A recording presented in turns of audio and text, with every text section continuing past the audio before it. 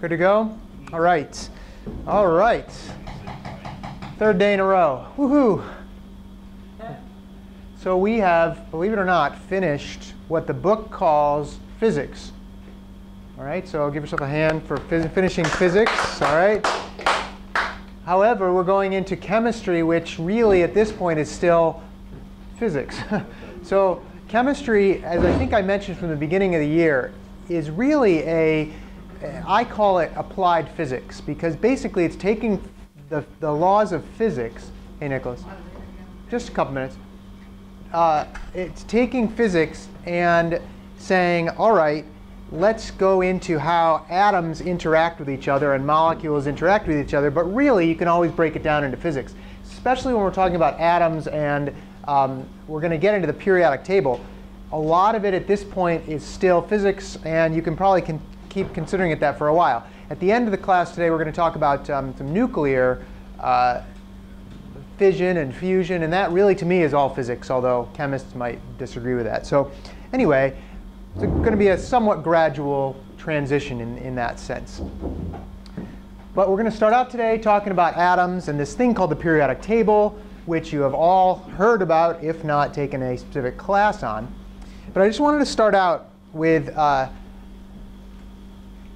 this little phrase that uh, actually Carl Sagan once famously said in a uh, in a movie in, in a or a film rather that he that he had he uh, used to do a uh, he's actually uh, unfortunately passed away in the I guess the 90s I think or maybe the early 2000s uh, I think the 90s and he had a he was an astronomer famous astronomer and had a show called Cosmos which I think might still be on Netflix. So if you guys happen to have Netflix or anything like that, it's on there, and you should watch it because it's an awesome show, and it's really not that dated, even though it was done in like the 80s.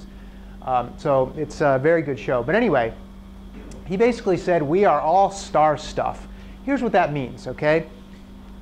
Most atoms in the universe are actually hydrogen atoms, okay? One proton, one electron, that's it. Okay, 90% of the atoms in the universe, as far as we know, and we can't see the whole universe with our telescopes, but from what we can see uh, of the atoms, and this is actually matter, not dark matter, which you might have heard before, but matter, hydrogen. Okay, formed uh, 14 billion years ago when the universe formed. Uh, we're not sure why that happened or how that happened, but we're getting there.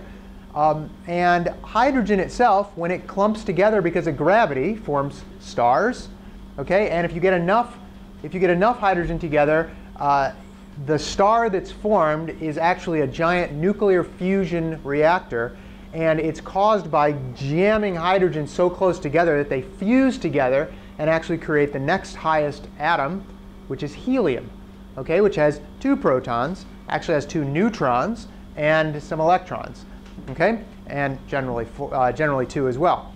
But uh, the helium also starts to get compressed down together, starts fusing together.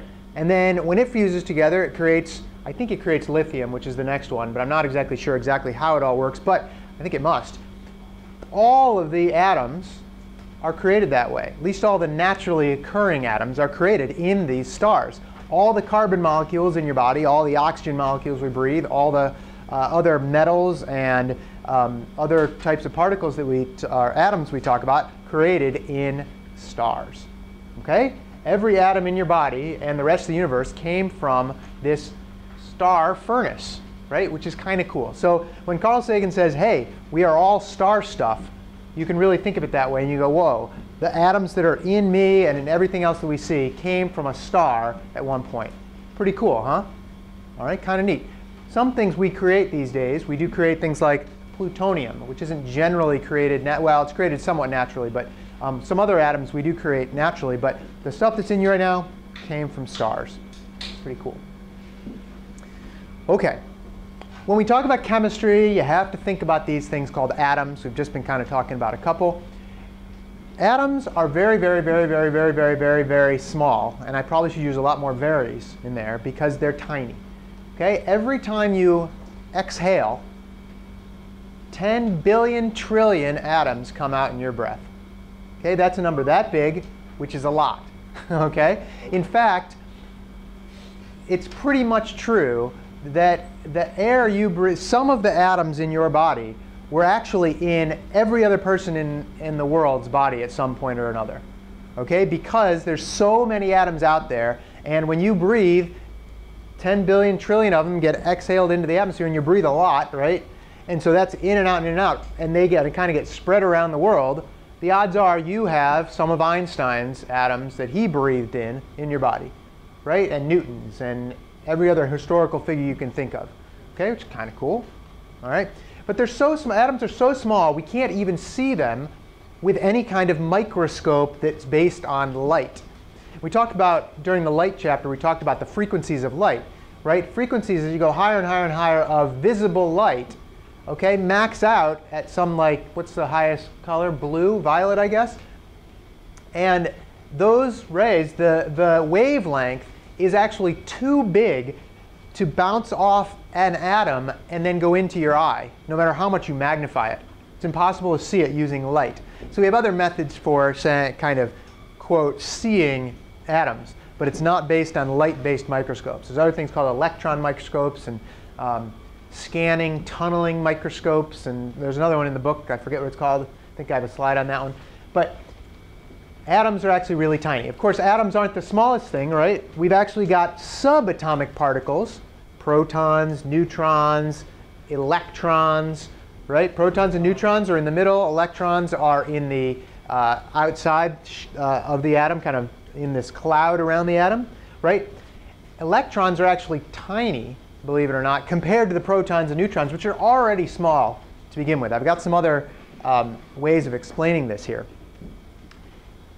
Atoms, though, are actual. So, so yeah, I know you've already looked at this, but if you think about an atom, right, and you think about the protons and the neutrons and the electrons, what's between the protons and the electrons? No, on the neutron, let's say it's just a hydrogen. It's got one proton, one electron. What's between that proton and that electron? Empty space. Complete emptiness, right?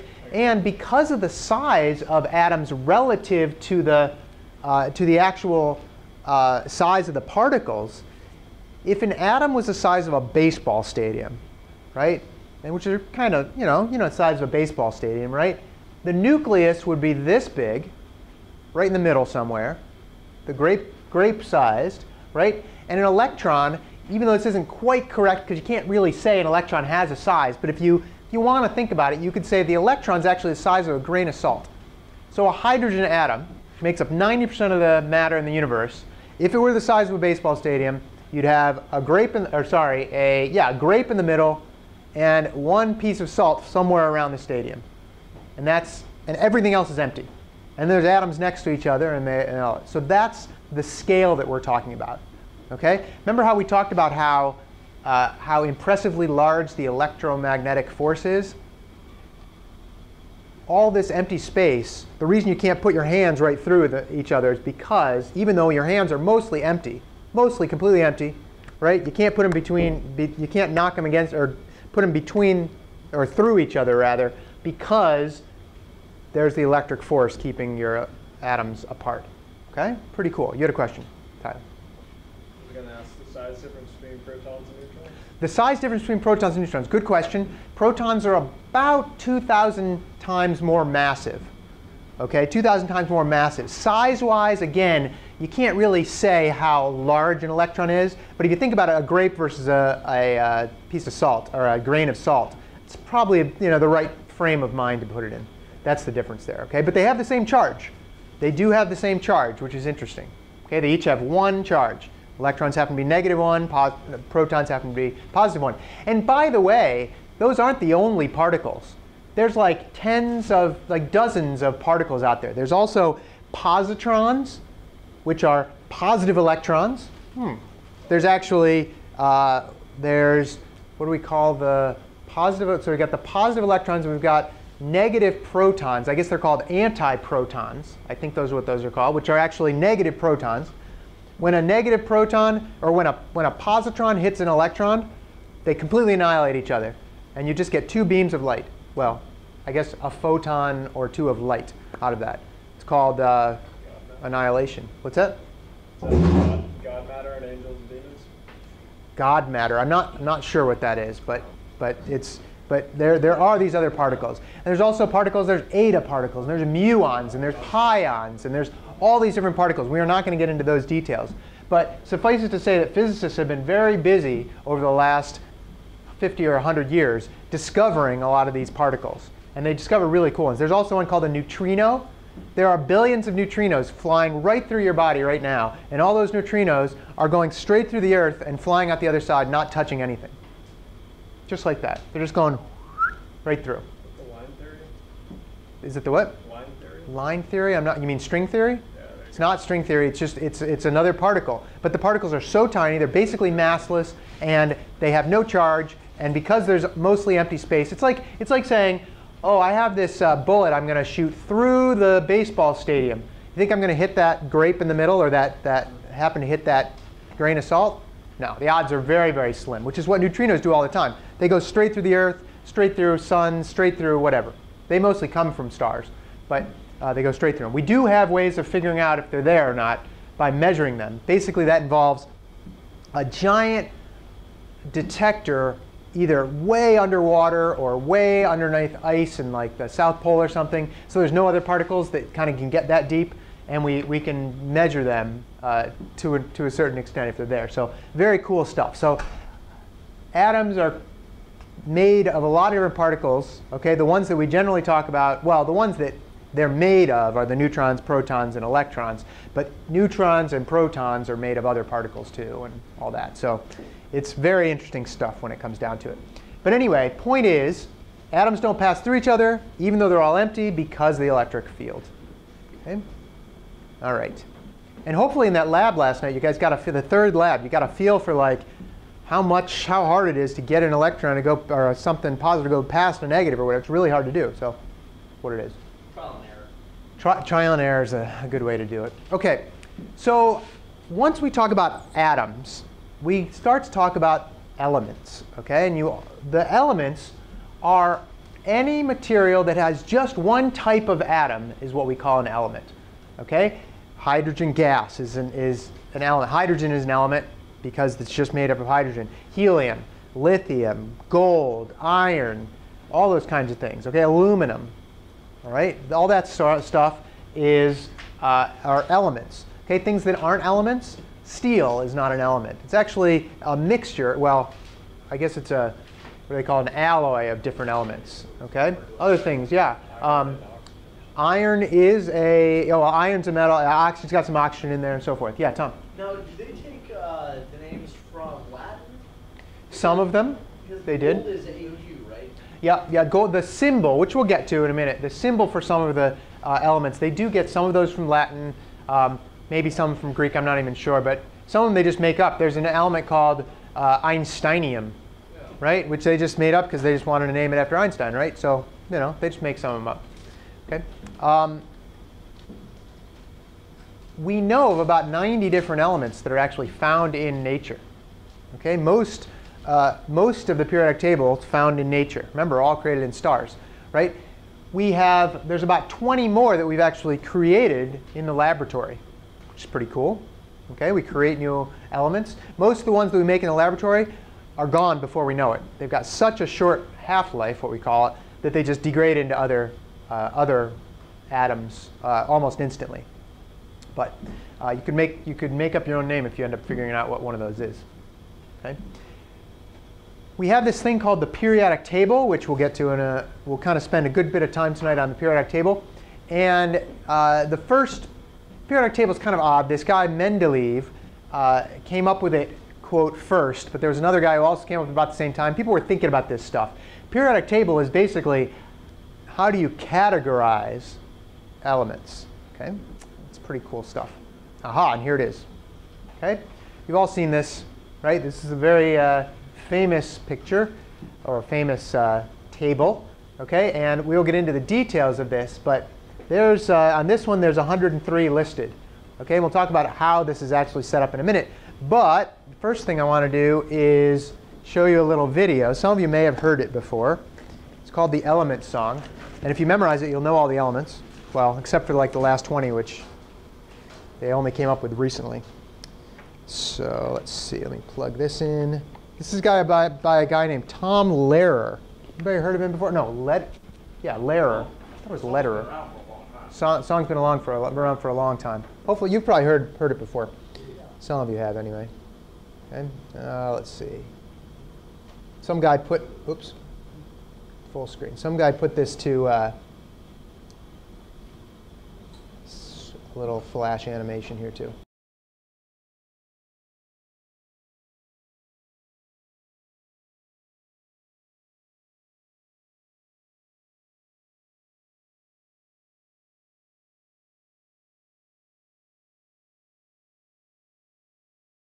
Those are the ones that were discovered since the song. Okay, did you get all that? Quiz on uh, after the break. Five. You can name five. I bet you can name more than five. Uh, let's see. What's that? Got that on iTunes? That is, uh, I got that on. Yeah, I found it on YouTube or something. No, I found it online. Just, I, I'm gonna put it. I'll put a link on the website, but you can do it there. Um, I am not gonna make you memorize this, obviously. Okay, that's ridiculous. Some things about it you'll need to know, uh, but you won't need to memorize things. I mean, you'll definitely need to know that hydrogen's the the number the uh, least massive element, and you'll have to know something else about the table itself, but not the details uh, as far as memorizing these things. By the way, there are some um, elements here that have default names because we haven't figured out exactly who we should credit them to, who gets to name them. But most of them. It has been that way for a while. I think they've actually named some of these very recently. I think some of the list on that list might have been named very recently, but we'll get into more of the periodic table in a little bit. Okay, um, so we already went through some of this. Protons, 2,000 times more massive than electrons. Okay, they're the ones in the nucleus of the atom. Well, one of the things in the nucleus. Okay, the number of protons is equal to the number of electrons surrounding the nucleus in an atom that's not an ion. In other words, an ion being an atom that has fewer or greater number of electrons. Okay? but generally, the, in order to balance the charge, you have to have the same number of electrons, same number of protons. Neutrons, which are actually just a little bit bigger than protons, okay, have no charge at all, and they are also in the, in the nucleus. Okay? Protons and neutrons are called nucleons because they occur or they are found inside the nucleus. Okay?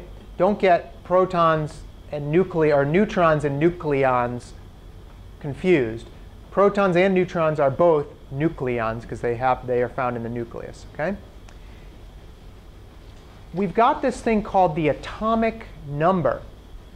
Okay, the atomic number, very easy to remember. It's the number of protons. Full stop. If it has seven protons, its atomic number is seven. Hydrogen, one proton, atomic number one. Helium, two protons, atomic number three of two. Lithium, three protons, atomic number three, et cetera, et cetera. Right? Okay, and you can find all this information on the periodic table. You got to know where to look, but it's pretty easy if you just remember that. Okay, hydrogen, one proton, one, got it. Okay? There are also these things called isotopes. Okay? And we've also got this, this idea of atomic mass. Atoms themselves do not have to have the same number of neutrons all the time. Okay? You've actually got three different types of hydrogen atoms that, we, that are naturally occurring. One is the regular old hydrogen atom that has no neutrons. Okay? We also have hydrogen 2, which is called deuterium, which has one neutron. And the reason it's 2 is because its mass is 2. See how the, we call, we, we make it easy. And we say that a proton's got a mass of 1 and a neutron has a mass of 1, so the total mass is 2, so we call this hydrogen 2. And there's also something called tritium, which is hydrogen 3, which means it has one proton and two neutrons. Okay? Which part of this tells me that it's hydrogen? The one proton. So if it's only got one proton, it is hydrogen. And its atomic, ma- atomic number is 1. Okay, so that's how we know that. But these are all isotopes, and they are all somewhat naturally occurring. It's probably true that right now, well, I don't know about right now because hydrogen is not that much, not much in air. But hydrogen threes, you've been exposed to them at some point. They're not deadly. They're not, you know, not going to uh, they're, they are radioactive to an extent, but um, they're not you know, deadly because of other reasons. Um, but these are actually used in uh, Optics. optics. Oh, all right, I didn't know that. I know they're used in fusion bombs, like the H bomb, but um, in fact, that's one of the problems. You have to continuously refill the tritium in these uh, like nuclear missiles because it, it's got a fairly short half-life, which we'll get to a little bit later. But anyway, It can't go higher than three. uh, in hydrogen, I don't think there are any higher than three. There might be, but it, there other elements that can go higher. Absolutely, we'll talk about that. But and it, and it generally, generally, the number of protons is close to the number of neutrons. Turns out that in general they're close. In other words, if you've got 100 protons, you're probably going to have around 100 neutrons. Not necessarily exactly, but you're going to have around that. We'll get to why that's the case in a little bit as well. Okay? All right, a little bit more on isotopes atoms are inherently electrical in nature. Chemistry is an electrical science, believe it or not. It's all based on how atoms interact electrically, like what, like what we said before, when you talk about the chemical properties. Okay? Neutrons are not, remember, they have no charge. So what that means is that they don't affect the chemical properties of an atom. So if you have more neutrons, it's not going to make a difference chemically, okay? Unless there's some chemical property that has to do with the mass, which doesn't really occur for, for all intents and purposes for chemistry itself. Okay, what that really, what that means in general is, for instance, sugar, okay, is mainly car is actually made of carbon, okay? Most carbon is this carbon 13, which means it has six protons and seven neutrons. Okay? Most of that is regular old, that's what regular sugar is normally made of, carbon 13. Some, actually it might be carbon 12, I might be wrong. I might be backwards on this one. Carbon, it does, doesn't really matter for my, my point here. Carbon 12 is also, in the, in the same form, is also sugar. Okay? And guess what? They're digested exactly the same. If it's got seven neutrons or six neutrons, it's digested exactly the same. Okay? So what that what it means practically is it doesn't matter what the isotopes are, it'll behave the same chemically. Okay? On the periodic table, we've also got this thing called the atomic mass, which basically adds up the protons plus the neutrons, because that's the most massive part. We ignore the electrons, by the way. And what we do is we say, all right, how much of the normally occurring isotopes are this isotope, how much are this, and we average it together, and that'll give you the mass. And we'll see an example of that in a little bit. But it's based on how much naturally occurs. Okay? So that's kind of constantly we're refining that number. Okay. We will be using these symbols occasionally in class here. Okay? Anyone know what this symbol is, Fe? Iron, Iron. right? We talked about, yeah, ferrous or um, ferromagnetic materials, right? Iron-based, okay? We've got a little atomic symbol. Some are based on Latin. Some are based on the university where they were discovered. Some are based on famous people, whatever, right? We've got an atomic symbol. Then we have the mass number. We already know that the mass, well, sorry, we've, then we've got the atomic number, which we already know is the number of protons. Okay, the atomic number is the number of protons. The mass number, which we generally round when we're talking kind of in general, okay, is the number of protons plus the number of neutrons. So in this case, we get the we know that 26 is the number of protons. We know that the mass number is 56. How would we figure out the number of neutrons? 56 minus 26, which in this case is 30. So remember, it's about the same amount. 26 protons, 30 neutrons in this case. So you call that iron 56? You would call that iron 56, yeah. Yep. Okay, on the periodic table, you'll see it a little bit differently. The numbers happen to be kind of flipped. You'll generally see the atomic number up in the corner here. And by the way, it goes boom, boom, boom, boom, boom. You'll know that directly because it'll go 26, 27, 28. Atomic number's up here, and sometimes they give this little number. You can't probably can't see it on tape, but it's 55.847. That's where you get all this rounding effect. So most iron is iron 56, so it's close to 56. But some must be iron 55, so there's a they round it and they average everything together. Yeah, James. Uh, what what would happen if like you had uh, say like 20 protons and then you end up having like 40 or 50 neutrons? If you had 20 protons and 40 or 50 neutrons, You just said it's usually around the same. they're usually around the same. If you could create an atom that had 20 protons and what, what was it, 60 as you say? like 40 20 happens to be calcium. So that would mean you'd have calcium, and I don't have the actual how much it is there, but you'd have a very unstable calcium because too many pro- neutrons makes it unstable, and the atom wants to give up some of those neutrons, so it, it radiates them away and it becomes unstable. Okay? So yeah, so you could try to do that stuff, but you could try to create more atoms with more neutrons, but you'll end up at a point where it just becomes unstable, and you know it's not really an atom if it doesn't hold together for some amount of time. Okay? But good question. Okay? By the way, chemistry is a very, very old science. Uh, you guys may have heard of alchemists and alchemy, where they tried to turn lead into gold. Right? Because they, people thought that if you mix something together, blah, blah, blah, you could get lead into gold. And lead was all over the place, and there wasn't so much gold, but if you had more gold, you could be more rich. And so people tried to do this. Newton was a famous alchemist. You know, did all this stuff with physics and real science, and then kind of dabbled in this, this kind of chemistry that wasn't going anywhere in some sense. But okay, ready? Atomic number, number of Protons. protons in the nucleus, electrons in a neutral atom, both of the above, none of the above. One. Number one. Definitely the protons. What about electrons? So you got What did we say about a normal atom? Is it, well, think, look at the question, protons and electrons. Most atoms are neutral. If you've got 10 protons, how many electrons do you need to be neutral? this is many. So 10. So would the atomic number also tell you the electrons in a neutral atom? Absolutely. Well, it's however many happen to, protons you happen to have. So yeah, in this case, it is both the above. Three. So oh, three. yeah, sorry. I thought you meant three. Like yes. So it would be three. Both of the above. Okay. When the atomic number doesn't match the number of electrons, then it's an ion, and it's either stripped away electrons or it's got extra electrons for some reason. Okay. And we'll get into lots of that stuff coming up later as we go along. Okay. Here's another check question. Nucleus, 44 for the atomic number, and a mass number of 100. How many neutrons does it have? 56. 56. Add them together and you get the mass number. There you go. Okay?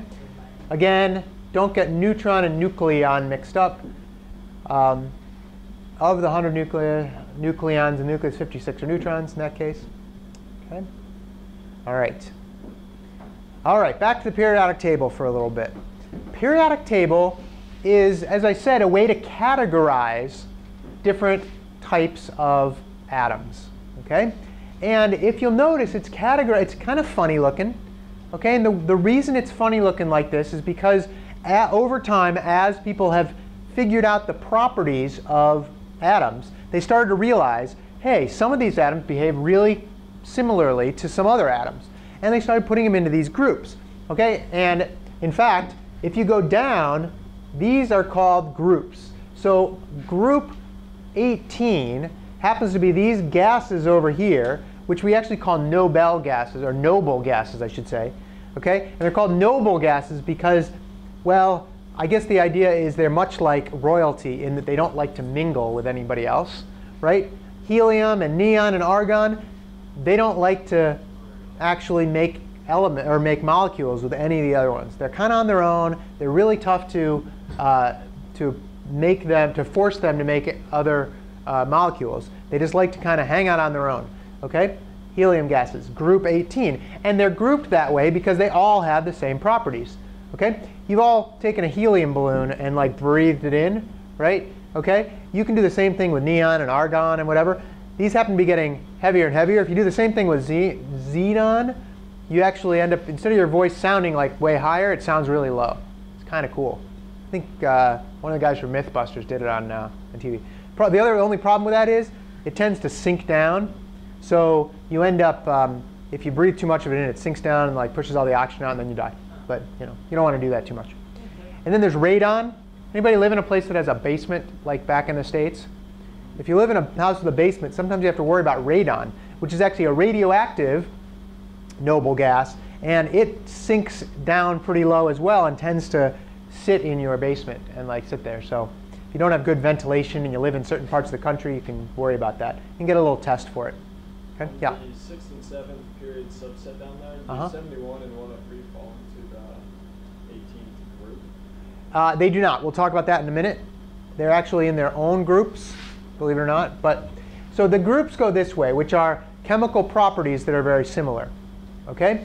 The periods are going this way, and what distinguishes a period is if you're in the fifth period, well, it's basically when the chart starts over again, like into the chemical properties that, that are back for uh, the chemical properties that are um, for the one above it. So something in the fourth period, they're going to be different chemically, but then when you get to the fifth period, if something's in the same group in the next period, it's going to be um, have the same chemical properties generally, to a, to a certain extent.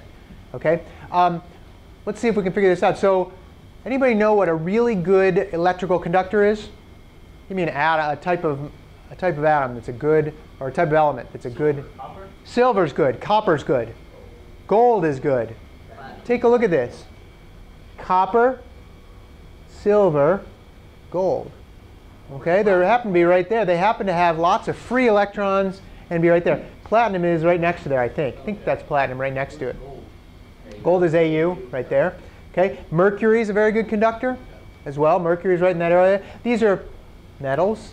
Okay, these. By the way, they call some things like these are metals too. Hydrogen technically is kind of considered a an alkaline metal, and the word alkali. I think they talked about this in your book.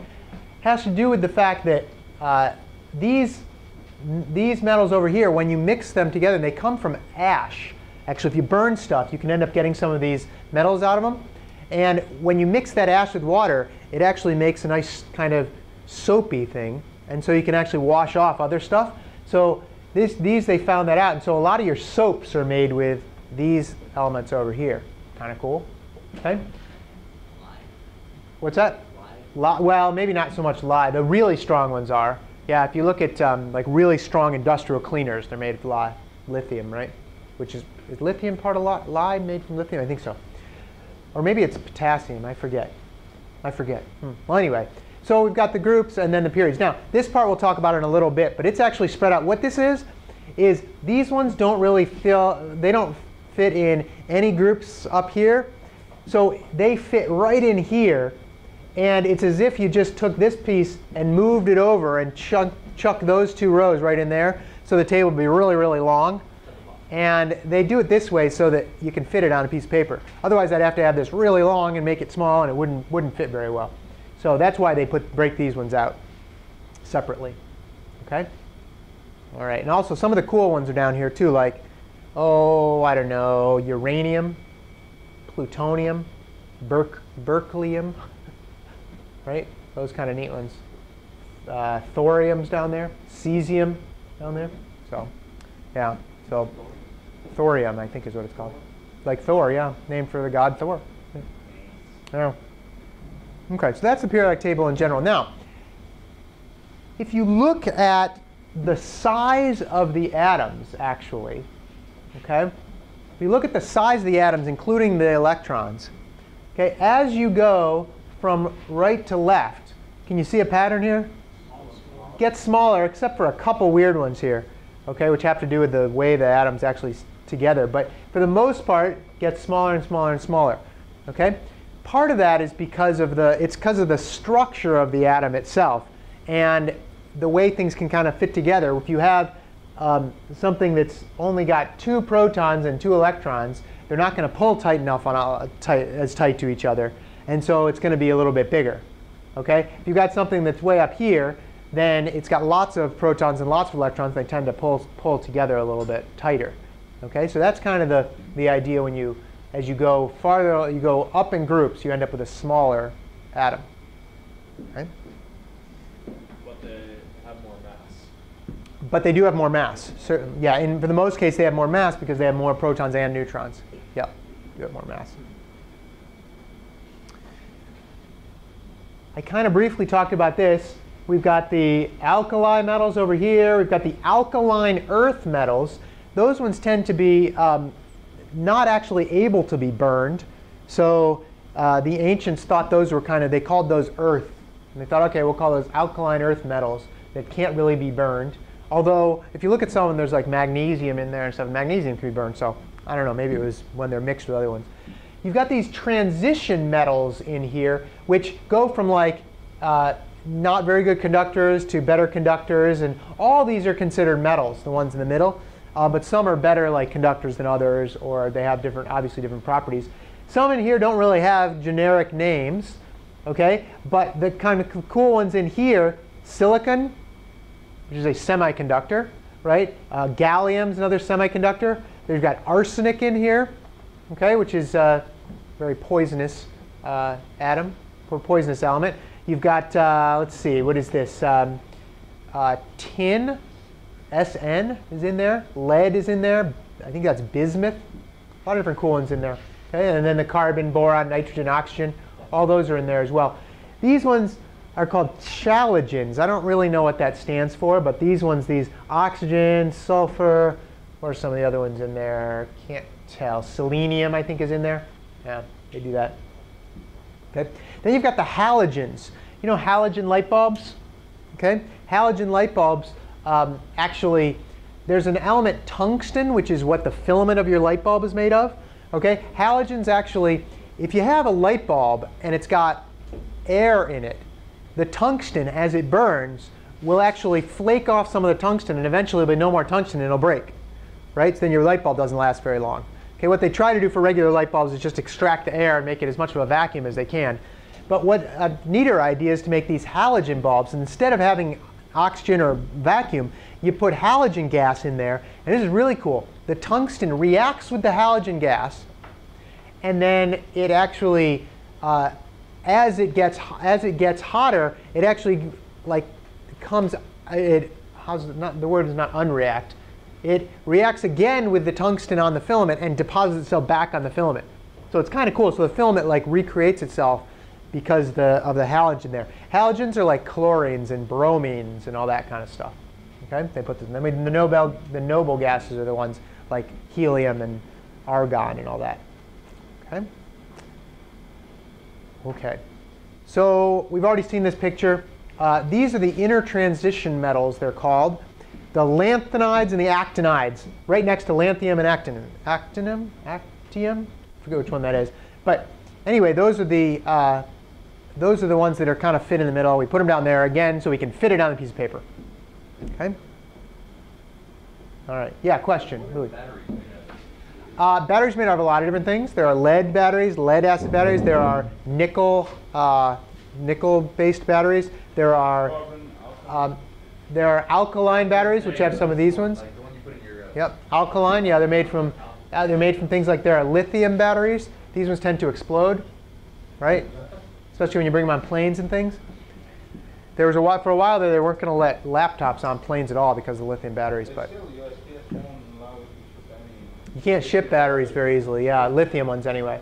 Yeah, so um, yeah, there's lots of cool. So you could it, it, these days, most of the atoms have been, most of the elements have been figured out as far as what they're good for, but there's still, if you want to become a chemist, you've probably got a whole career if you pick one or two of these guys and try to come up with new chemicals from them. Yeah, kind of. So like, in, the pharmaceutical field, they mm -hmm. try to like test medicine with like chemicals and like. Absolutely. In the, in the pharmaceutical field, they take various atoms and they mix them together and try to come up with new chemicals and see how they behave you know, and, and see if they are good for healing you or, you know, killing stuff. And, you know, it's uh, definitely, there's a lot in this table because there's a lot of, because there's over 100 different elements.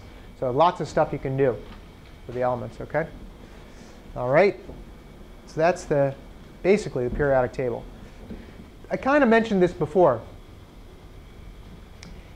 The size of atoms are so tiny that if the entire world was, or sorry, I guess if a baseball was the size of the entire world, the atoms in the baseball would be about the size of ping pong balls. Okay, does that does that make that kind of make sense in the in the scale size of things? a baseball, you look at a baseball, and then you think the entire world and a ping pong ball, that's how big the atoms are compared to the size of the baseball. Okay? Lots and lots and lots and lots of atoms in a baseball, and they're very, very, very small. And as I said before, you can't see them with light. We can see bacteria with a, with a good enough microscope because bacteria happen to be bigger than the wavelength of the light we're going to shine on them. Notice, but you can't even see them in here, if an atom is a tiny, tiny little bit here, right? You, let me see if I can zoom in a little on this. There we go. Uh, let's see. There we go.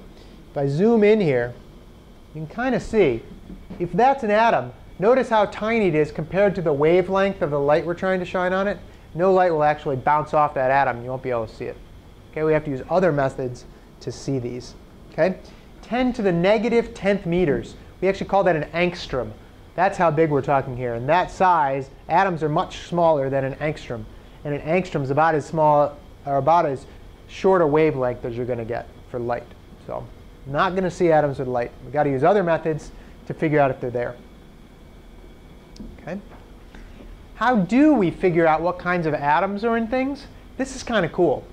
We use these things called a spectroscope. Okay? And if you've ever looked through a prism, you've kind of seen what a spectroscope is. A spectroscope basically takes the light and spreads out the different frequencies that are coming from that light.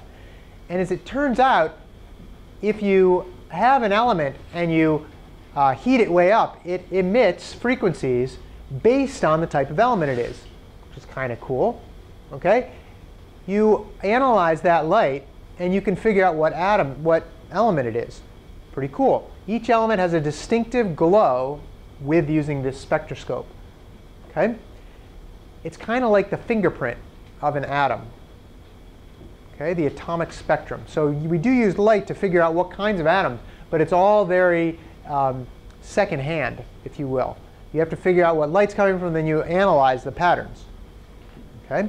There's actually, let's see, an interactive spectrum demo, which I am not sure I actually downloaded. I don't think I did, so we're going to have to skip that one. But the uh, suffice it to say that we do this. Now, one cool thing about this, well, here's, here's what it looks like, first of all. This is tough to see on the screen here, but note, can you see the different colors of these lights? One's kind of reddish, one's kind of purple, the other's blue, the other's green. Those are flames. What this is, is they take a little poker of some sort, put some element on it, like copper, put it in a flame, and you get a nice cool green flame. If you look at that in a spectroscope, this is what it looks like. And I'm going to zoom in on this one too. Copper, which is what that is, looks kind of like this in a, spec whoops, in a spectroscope. Okay? What you've got is you've got these bright lines which are show the bright part of the spectrum. If you see that pattern coming from some light source, you know that it's probably got copper in it. Pretty cool. Okay, so you can say, ah, there's the fingerprint for copper. Okay, we've got other ones in here too. Barium looks like that. Notice you got this kind of really bright one and then some other kind of less bright ones. Okay, you've got potassium in here. Okay, lots of blues down here, a little bit of green, big yellow one right there.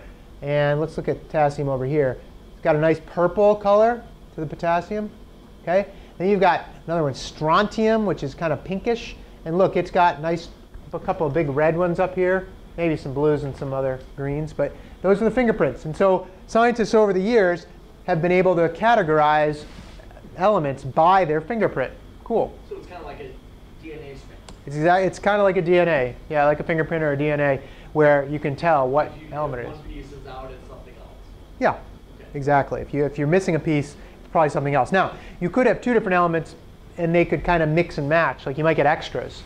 But that's, uh, Well, like know, you, you said, like with the copper, it, there, it could be combined with another metal. yeah, it could be combined with another one, yeah. Yeah. Okay. have a question. Yeah, a couple questions. With the flame, does that have to be a certain element burning? Uh, it is. It's burning. Yeah. I mean, Yep. can it be any, can it be like kerosene or gasoline or Um, yeah. I mean, if it was kerosene, you'd probably see different color different. You'd see the color for for uh, carbon, which is what carbon is. You know, kerosene is made out of carbon molecules. So here they're taking the flame that's coming out of a Bunsen burner or Mhm. whatever it is, and they're putting the element into the flame. Yep, they're putting like a carbon, like a copper salt in there into the flame. So what is Yeah. what is the flame? What is burning there? They, uh, I think it's actually the actual molecules themselves are, they're either burning or they're getting hot enough to emit flame. I mean, to emit light from the flame. Yeah.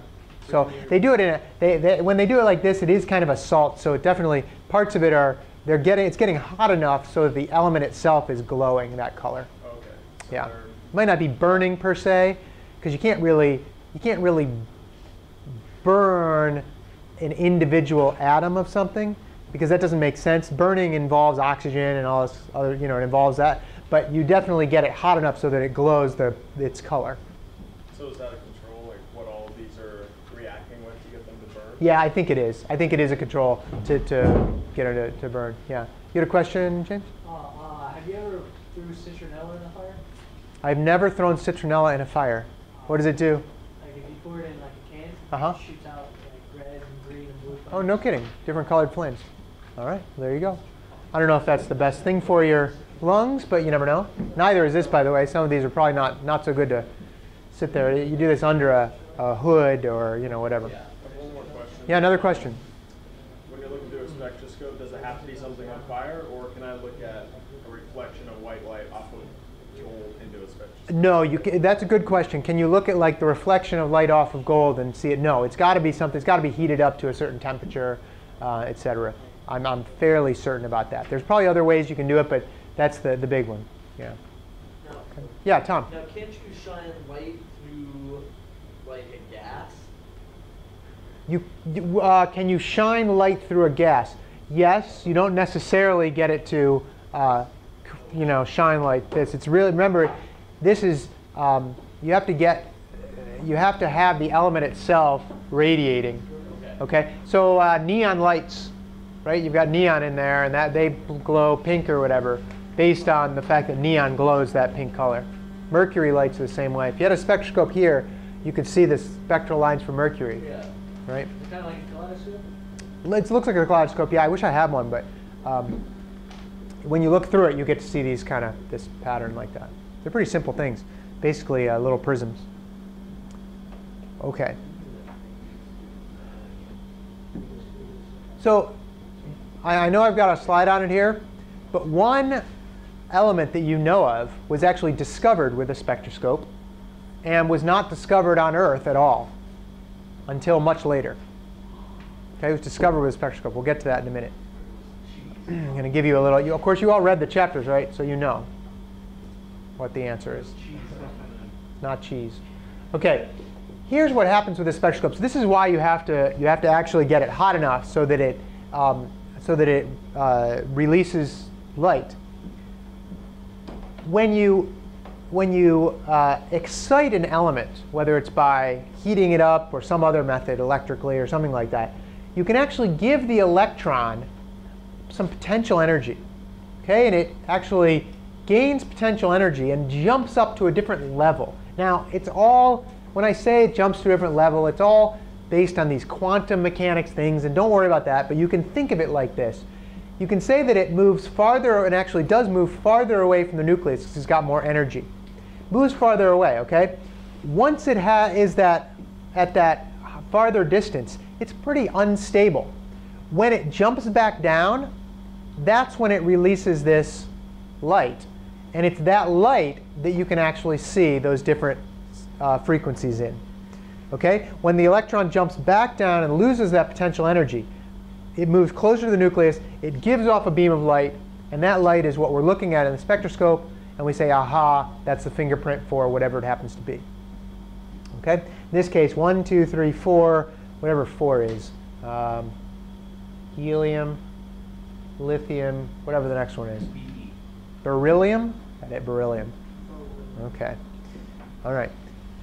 So you can also jump more than one level. And we'll get to what all this means a little bit later, actually probably next week.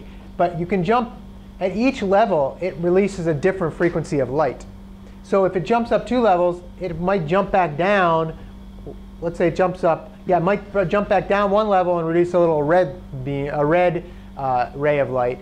If it jumps down to the next one, it'd be green. If it jumps from the third one all the way down to the first one, it might release a blue one. And that's why you get different lines because these, these uh, electrons are jumping back down to various levels of distance from the, elect from the nucleus.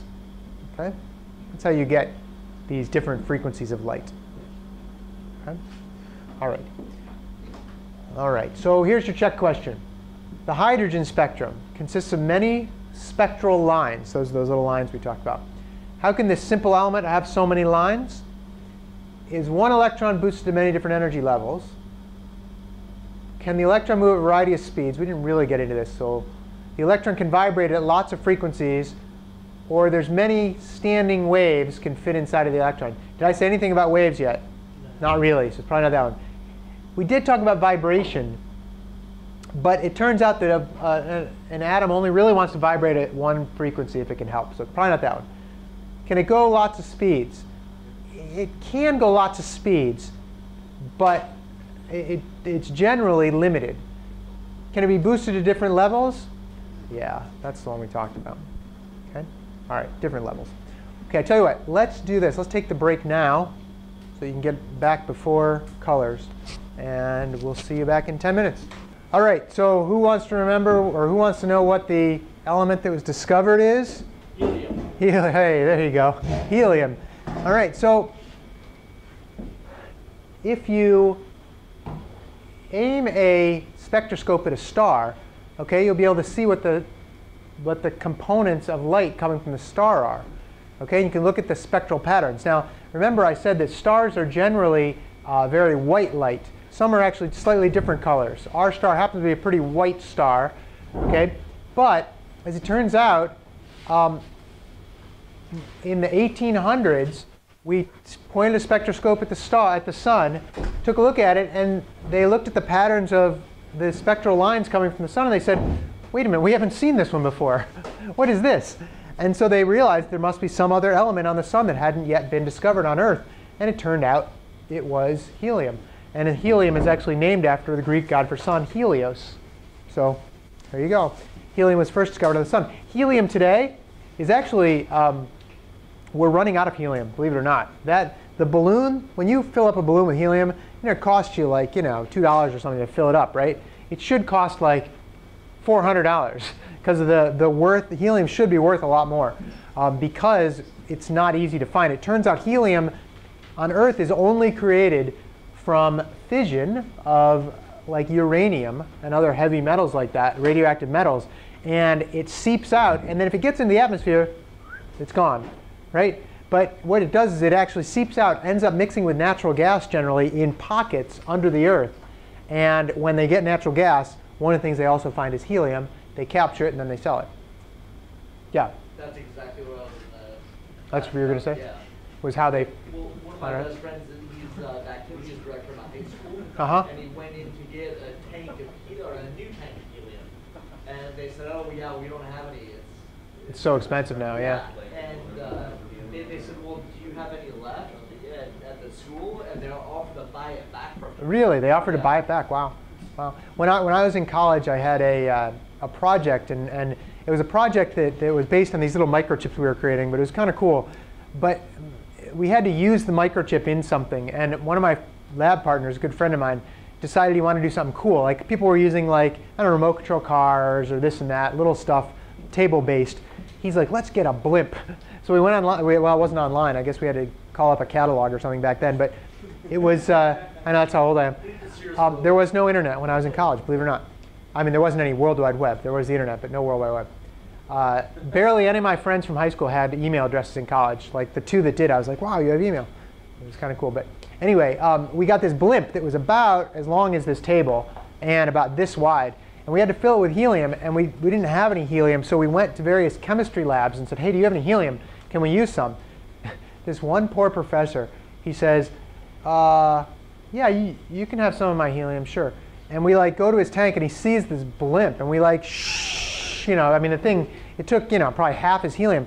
He's, after we filled it, because you know, that helium is like 99.99999% pure helium. This is not the stuff that you buy to like fill up your Yeah. balloons with. this stuff costs a lot of money. We're like, oops, sorry. And you can get out the door, so. Yeah, we couldn't get it. You're right. No, but we, we did end up getting it also. It was kind of cool. And the project worked okay. It wasn't great, but it was cool. It was kind of fun. And we, and we made the newspaper on school, you know, because somebody took a picture and whatever. Question. Nice. Oh, nice. Yeah, there you go. So, you guys have, I've mentioned this a couple times. Um, quantum mechanics or quantum theory. Remember before we were talking about how the, the, the electrons would jump to various levels? Well, it turns out they don't jump between any levels. They always jump from one level to the next, to the next, and there's no jumping in between. And in fact, they actually don't ever really end up between those levels at all. They're either in one or they're in the other. And they're never, they don't take time to jump to that next level. They're either in one or in the other, and that's it. Okay, it's very bizarre. But this guy named Ma- Max Planck, German uh, guy, said that, hey, if you look at uh, radiation coming from bodies like uh, light radiation, he hypothesized that this radiation only comes in these little discrete bundles. Discrete meaning those at those levels. Okay? And he said those are called quanta, and the energy of those levels is completely per, completely proportional to the frequency of that light. Einstein, believe it or not, Einstein's involved here. He came around and said light itself is this quantum amount. Okay? He said a beam of light is not a continuous wave of energy. He said the energy actually is these little tiny bundles, which we call photons. Okay? Now, in the end, what people realized were that Einstein was right that we have photons of light depending on how you look at it. Sometimes you can consider light to be a photon in these little bundles. Sometimes you can consider light to be a wave, like what we talked about the other day. It's kind of, light is weird in that it can be both one or the other, depending on how you look at it. Okay? So that in itself is a little bit odd. And we're not going to go into much more detail about this, but just know that when you think about light, you can think about it as these little tiny bundles of energy. Okay? And this is kind of what I was just talking about. Light is both a stream of particles and a wave. Okay? And what does that mean really? Well, it just means that depending on how you look at it, that's what you get. Okay? You can either describe it like a wave or a particle depending on what experiment you're doing on it. Pretty cool stuff. Later, we'll get into some more interesting uh, things about that. But what we know is definitely that the energy of these little bundles is directly proportional. In other words, if the energy goes up, the frequency has to go up. The frequency goes down, the energy goes down. It's just like all those other um, types of situations where we have direct relationships. Okay? All right, so that's the quantum hypothesis. Okay, ready? Uh-oh, I must be missing my, must be missing my image. Which has the greatest energy per photon? Do you remember what light had the highest frequency? Blue light, right? Well, guess what? Blue light has the greatest energy because it's the highest frequency. Okay, blue light. Because we have this relationship, energy is proportional to frequency, in other words, directly proportional. The highest frequency of light is the greatest energy. So blue light has more energy than red light. Okay? X-rays, which are really high frequency, have much more energy. Part of the reason they can penetrate through your skin, but they get stopped by bones. And also part of the reason they're not very good in high quantities. Because they, they're so high energy, X-rays, that they will actually uh, they will actually ionize. In other words, when they hit your skin, they will sometimes cause electrons to come off, making the particles unstable, and that's what tends to mutate them and that sort of thing. So, not so great if you get lots and lots of X-rays hitting you. Which has the smallest energy? Choices are infrared, visible, or ultraviolet. Remember which ones were, remember we went, let's, let's go over this again, because I might ask you something like this. What was way at the bottom of the spectrum? Remember which kind of rays? Way at the bottom? Not visible. The ones that we use to communicate with submarines? Radio. Radio waves. And we use the ones to communicate on radios with, right? Radio waves. then it went up to microwaves, then it went up to infrared, then it went up to visible, then it went up to ultraviolet, then it went up to X-rays, and then finally gamma rays, okay? I'm not going to ask you those orders, but which one has the lowest, the, the longest wavelength or the lowest frequency? Infrared. So that's got the smallest amount of energy. And remember, you're all emitting infrared radiation right now, and it's not hurting anybody. Very low energy. Okay? Lowest. All right. Okay. This guy named Niels Bohr came along. He was a Nobel Prize winner. Interesting. So the Nobel medal, the medal they give you is made out of pure gold. Pretty cool. They also give you lots of money too, but they, made, they give you a medal and it's about this big and it's made out of pure gold. Niels Bohr, this is actually an interesting, he, he won his medal before World War II. During World War II, he didn't want the Nazis to come along and steal his medal, right? He, was, he, he actually lived in, I think, Denmark, and uh, Denmark was at war like a lot of other you know, countries at that time. And he didn't want uh, I, he didn't want the Nazis to come by and, and steal his uh, Nobel Prize, Nobel medal. So he actually dissolved it, his medal, in a, an acid, and he put it on his shelf, right? And throughout the whole war, nobody touched his shelf of chemicals and blah blah blah. At the end of the war, he did another chemical uh, experiment with it, and he leached out the gold, sent it back to the Nobel Committee, and they reformed it into his medal. No way. Isn't that cool? Yeah, pretty cool. Anyway, Niels Bohr won the Nobel Prize because he talked about why atoms don't actually collapse. Now let's think about an atom for a second. It's got, let me, let me write this nice and big. I'll do it on this one right here. Here's an atom, okay? It's got a couple of, let's say it's got two protons and a couple of neutrons in there, okay? And then some electrons over here and electron over there. Okay. From what we did in the lab last night, that third lab, what do you know about negatives and positives? They attract each other, right? Okay? So first of all, if these electrons were actually spinning around here, okay? If they were actually like spinning around, we know they're moving and we know they're accelerating. If they were accelerating, first of all, we said that accelerating electrons in electricity, when we talked about electricity, accelerating electrons actually radiate energy. Okay, they create electromagnetic waves, and they create magnetic waves and whatever. Okay, if that was the case, they would lose energy, and they should spin right in to the middle. We know that negatives and positives, what did we say? Attract. Attract each other. So what's stopping the electron from just kind of going whoop into the middle there? The other negative, I guess so, but there are two positives here. So why don't the two negatives just kind of go poop and, and right in there? So? The neutrons are neutral. They don't care electrically.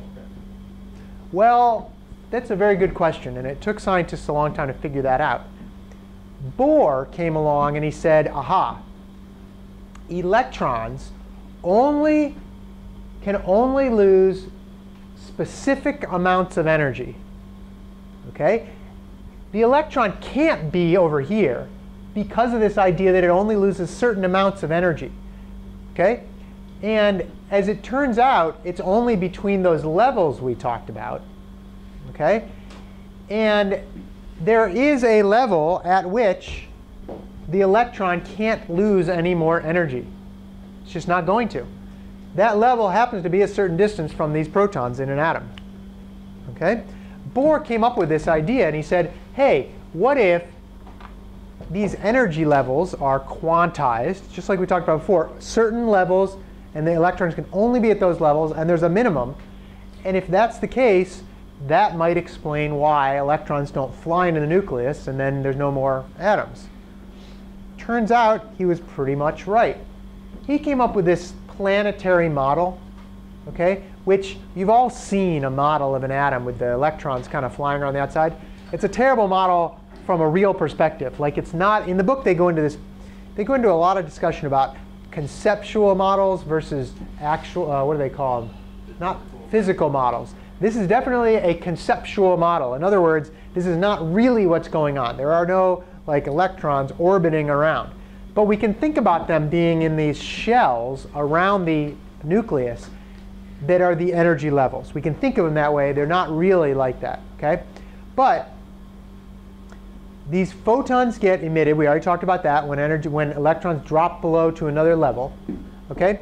And the energy of these photons is the difference in energy between the two levels, okay? And that's why we get these discrete, in other words, these specific frequencies, because the electron jumps below, jumps to another level. But Bohr's big idea was there are these levels that are fixed, and the electron's not going to get below them and not going to end up running into the protons. Okay? Here's what the shell model really looks like. You've got the nucleus in the middle, and then as you go out, you've got where certain electrons are.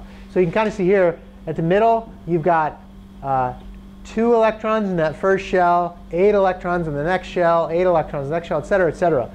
And we're going to talk a little bit about that when we talk about how chemicals react with each other because it's all about, or how atoms become molecules. It's all about these shells and how many electrons are allowed in each shell. If you've got two electrons in the first shell there, that's it. You're not going to get any more. Guess how many electrons there are in a helium? Two. Helium has two protons, two neutrons, and two electrons. And that first little shell is completely filled.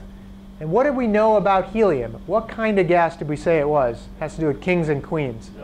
It's a noble gas because it hates to react with other things. It just doesn't react. One of the reasons it doesn't react is because that first little level already filled. No more need to worry about other electrons. Okay? If you go to 3, which is, what is that, lithium, right? Lithium has another proton, maybe another neutron, and another electron.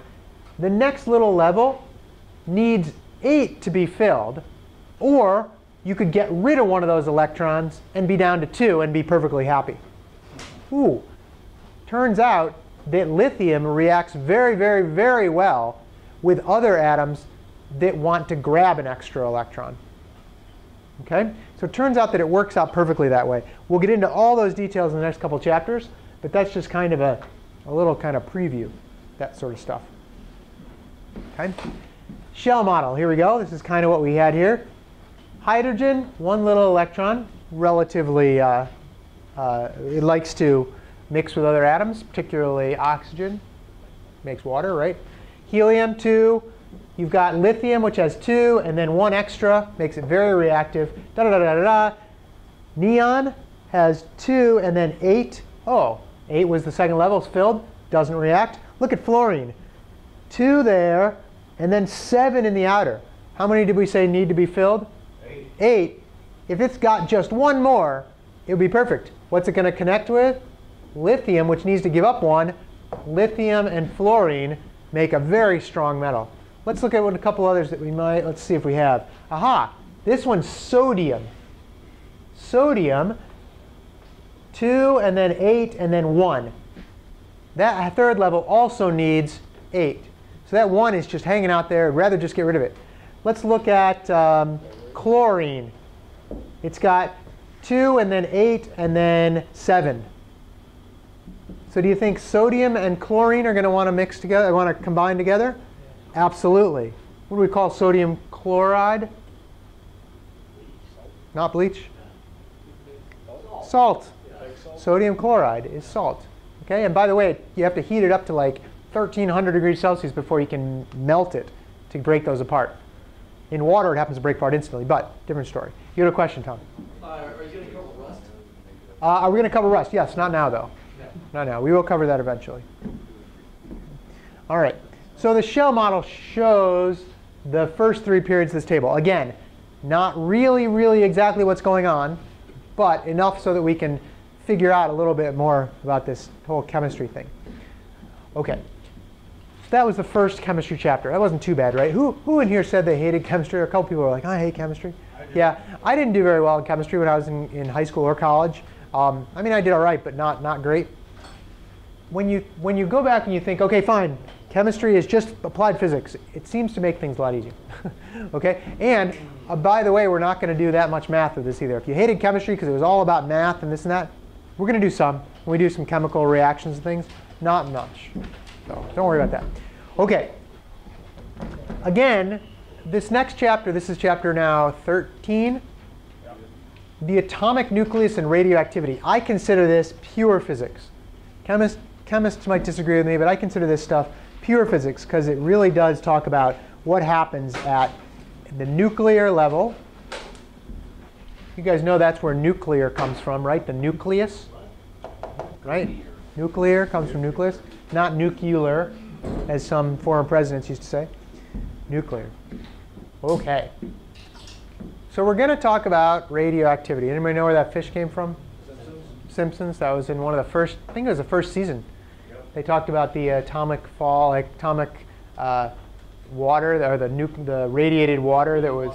Mr. Burns was pumping into the river. Lake Springfield. Lake Springfield, was that it? Yeah. Is it what? Could that happen? Could that, well, mutations can certainly happen. I don't know that we get three-eyed fishes, but maybe. We say that elements that are unstable, their nucleus is unstable, we call the radioactive. Okay, what it means is the nucleus is in some form that those protons and neutrons, something's upsetting about them. They're not stable and they want to change. Okay? When they break down, when these nuclei break down, they actually eject other particles. Sometimes they eject uh, radiation, we call those gamma rays. It actually, I mean, they are the gamma rays we've been talking about this whole time. Sometimes they actually uh, eject actual particles, like electrons, and helium nuclei, which we'll talk about. Okay? This is called radioactive decay. Radio radioactive decay is not something that's been around just since 1945 when we, when we blew up the first nuclear bombs. Okay? We, well, even so, before that, radioactivity has been around since the beginning of the Earth. Okay? Uranium, which is in the Earth's crust, is radioactive. Radon, which I talked about in the Earth's crust, radioactive. Okay? Radiation is not a new thing. We didn't know about it until the early part of the 20th century, but it's not a new thing. Okay? So don't think that it's somehow like artificial. It's definitely a natural process. Okay? when we talk about radiation, we don't talk about A, B, and C radiation. we talk about alpha, beta, and gamma rays. Okay? The reason we call these high, high frequency rays gamma rays is because they're actually caused by this radiation. The alpha rays and the beta rays are not rays in the traditional electromagnetic sense. Okay, but we'll, we'll get to that in a minute. But by the way, in Greek, the first three letters, alpha, beta, gamma, correct? ABC, right? Except really G for us. there you go. If you have an element that has an atomic number greater than 83, which is bismuth, it's going to be radioactive. It's just too bad. It's going to be radioactive. Part of the reason that's the case is that those atoms are so big that they don't stick together well. And we'll talk about why that's the case in a little bit. Okay? the elements release three different types of radiation. Only one of them is electromagnetic, gamma rays. And here's what happens. Can you see this little um, diagram here I have? Alpha rays are rather big. They're actually helium nucleus, nuclei, and they are not very energetic. They're big, they're relatively slow. They will be stopped by a piece of paper or your skin generally. Okay? if, there, if you have enough alpha radiation, you don't, it's not going to be good for you. But in general, alpha radiation can stop by a piece of paper. Beta radiation, beta particles are actually just electrons. All they are, just free electrons flying through, the, flying through space. Beta particles will go through a piece of paper but be stopped by like a piece of wood. Okay? Gamma radiation, on the other hand, will go through paper, will go through wood, and might be stopped by concrete or lead or something like that. They will all eventually be stopped by enough lead. But you can get really high radiation gamma rays that will go pretty far into lead even. Bad, bad news. You don't want to get hit by too many gamma rays. You do every day outside, but not enough to you know, cause too much harm generally. Right? But gamma rays, bad, bad news in that sense. Those are the most energetic right there. Those are the three we got to talk about. Okay? Alpha particles, as I said, they are a helium nucleus. Helium, we said, has two protons, two neutrons, two electrons.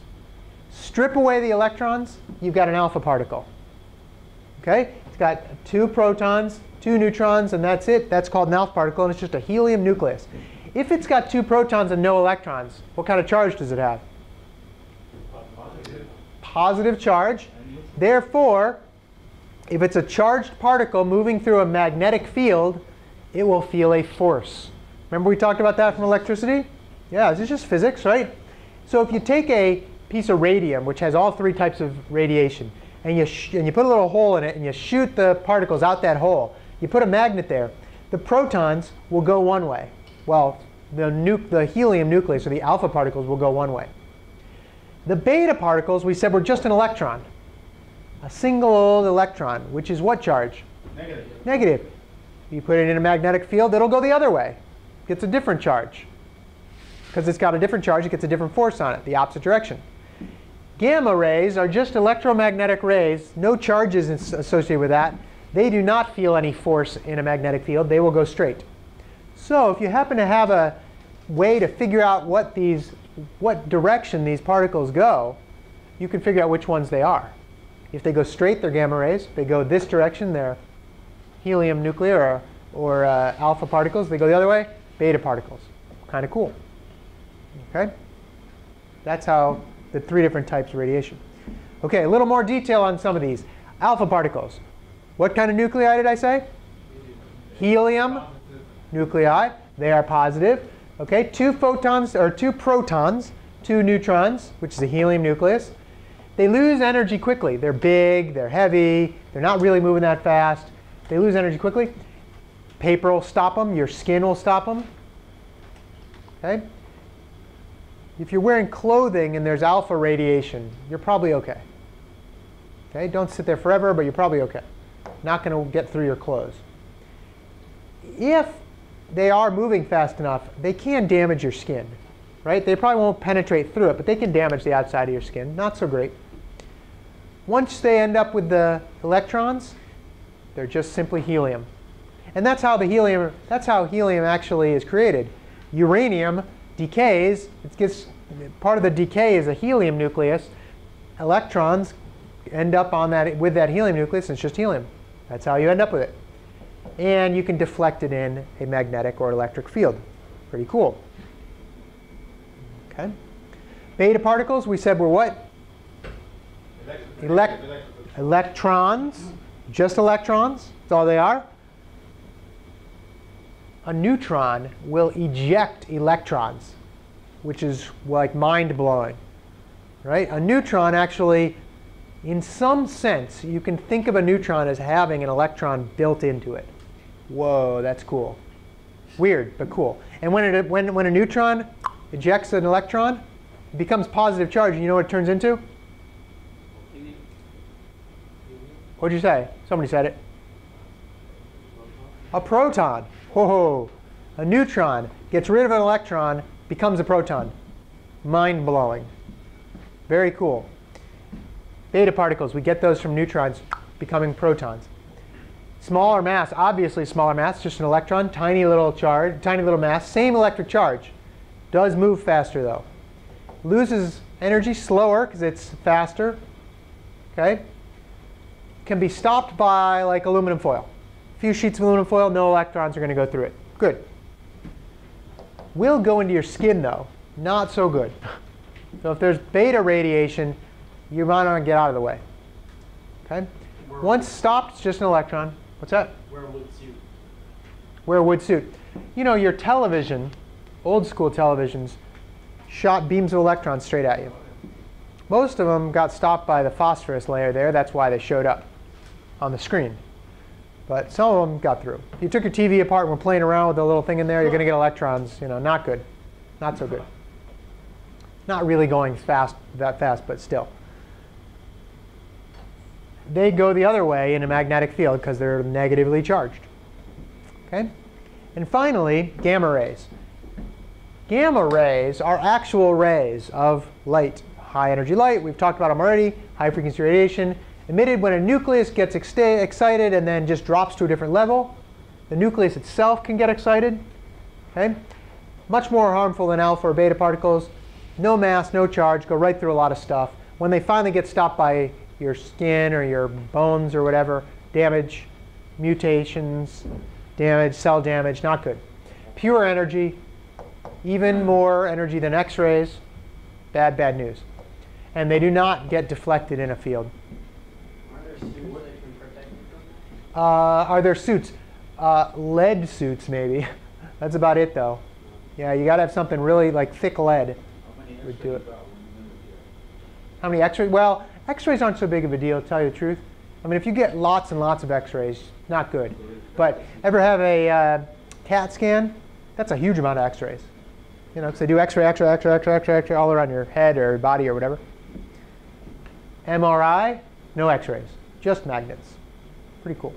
But if you forget to take your watch off, it'll like go shtoink and like might hurt you. Well, depending on where you're watching it. True. But if most of them are made out of metal to some extent. Well, Okay. titanium's not magnetic, is it? Titanium, I don't think is magnetic in the same sense, no. Anybody have any questions about alpha, beta, or gamma rays? Which one's the only one that's not a particle or a set of particles? Gamma. Which one's the one that can harm you the most? Gamma. Which one's the one that comes from uranium?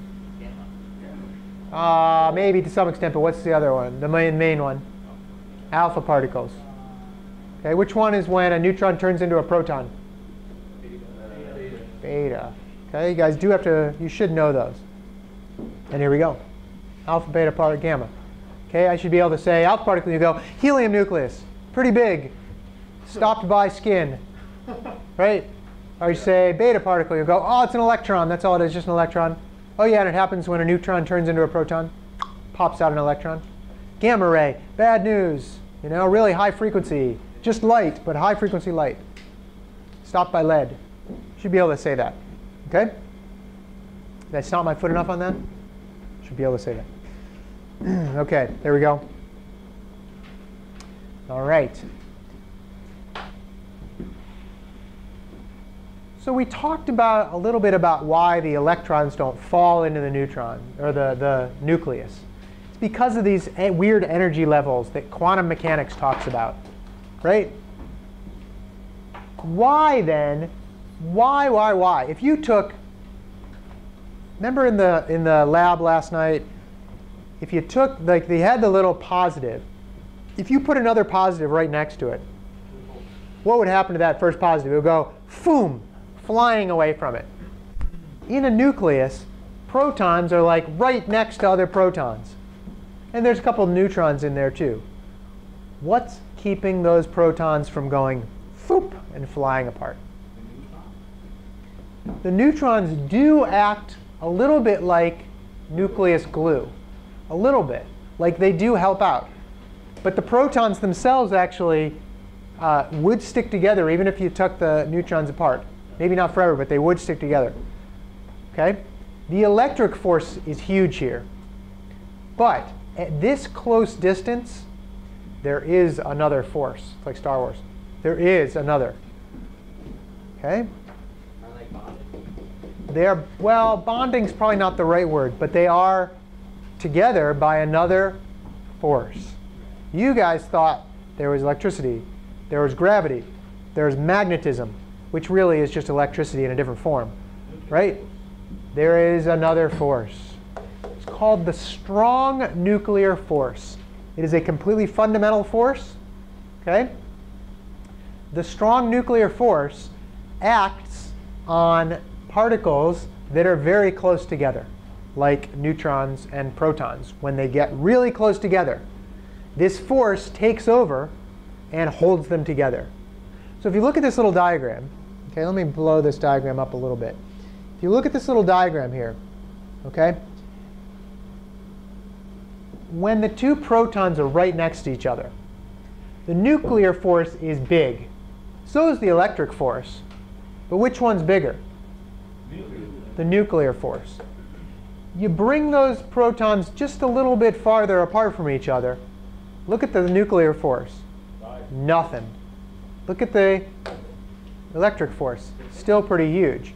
So if you were to take two protons and you go, you get them to like here, they go fly apart from each other. Because all of a sudden, what was keeping them together is, is that. this equation is one of the few ones which is not an inverse distance squared equation. Remember electric was distance squared on the bottom? And gravity was. And so was magnetism. Not the nuclear force. I don't remember what it is. It's like, it's like distance to the fourth or something like that. So once you get a little bit farther away, the, the force drops way off. Pretty cool stuff. But it's the only reason neutron, or nucleus stay together. It's this strong nuclear force. There's also a weak nuclear force, which I think is more like electricity. I'm not sure on that. I'll have to look it up. But that's, that's another fundamental force. Okay? We might not have ever known existed until right now. Maybe you guys did. I don't know. Okay, but that's the other force. Okay? So here's a little bit more about this. Neutrons do help keep the nucleus together. Do neutrons have an electric force that pushes them apart? Neutron. Neutrons. They're, nu they're neutral, right? No electric force. They do have a nuclear force. So if you get a couple of these protons together, they are really going to want to fall apart. Okay? Why? Because that they've got lots of electric force pushing them away. But if all of a sudden you add two more neutrons to the mix, you've got two, you've got basically twice as much nuclear force. So that's why I said earlier that neutrons kind of are like nuclear glue. They help hold together the nucleus because at these close distances, you can get them really close together. Now, by the way, we'll get to this in a little bit. As you get more and more and more and more of these together, aren't you getting farther from the center? And so now two protons are now not right, not right next to each other with a really big nuclear force. They might be here and here. Well, that means the nuclear force is less. They're more likely to go, oh, I'm not sticking around, boom, and fall apart. So bigger atoms tend to be the radioactive ones. Remember how we said anything above bismuth, 83, radioactive? That's because they're big and their protons are so far apart from each other that they don't want to stick together anymore. Kind of cool stuff. Okay? All right. And this is exactly what I'm talking about. See how far apart these ones are from each other? They're going to have lots of electric force on them. Lots and lots of electric force. Okay? All right. Let's see. How about this? I think if we take a 10 minute break now, we'll probably still get out a little bit early. I know a couple of you guys are about to fall over. I can see it already. Let's take a break right now. 10 minutes, 12 minutes. We'll come back at 10 up. And then we'll probably get out a little early.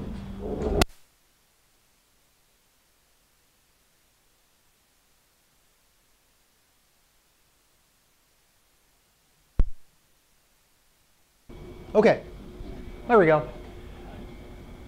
All right, so we just finished with the strong nuclear force. The next thing we're going to talk about is this idea of half-life.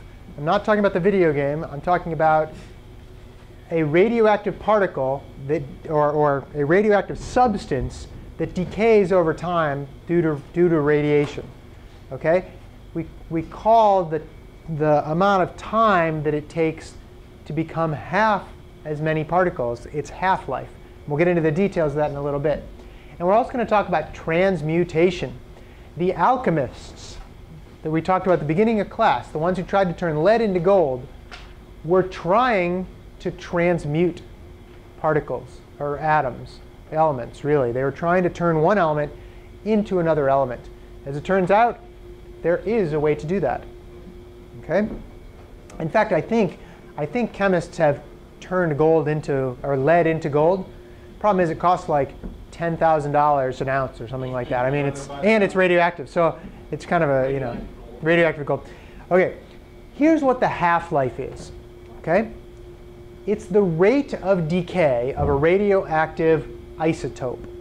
Okay, remember isotope was just more neutrons or different types of neutrons in an atom. It's the time required for half of the material to be gone. Okay?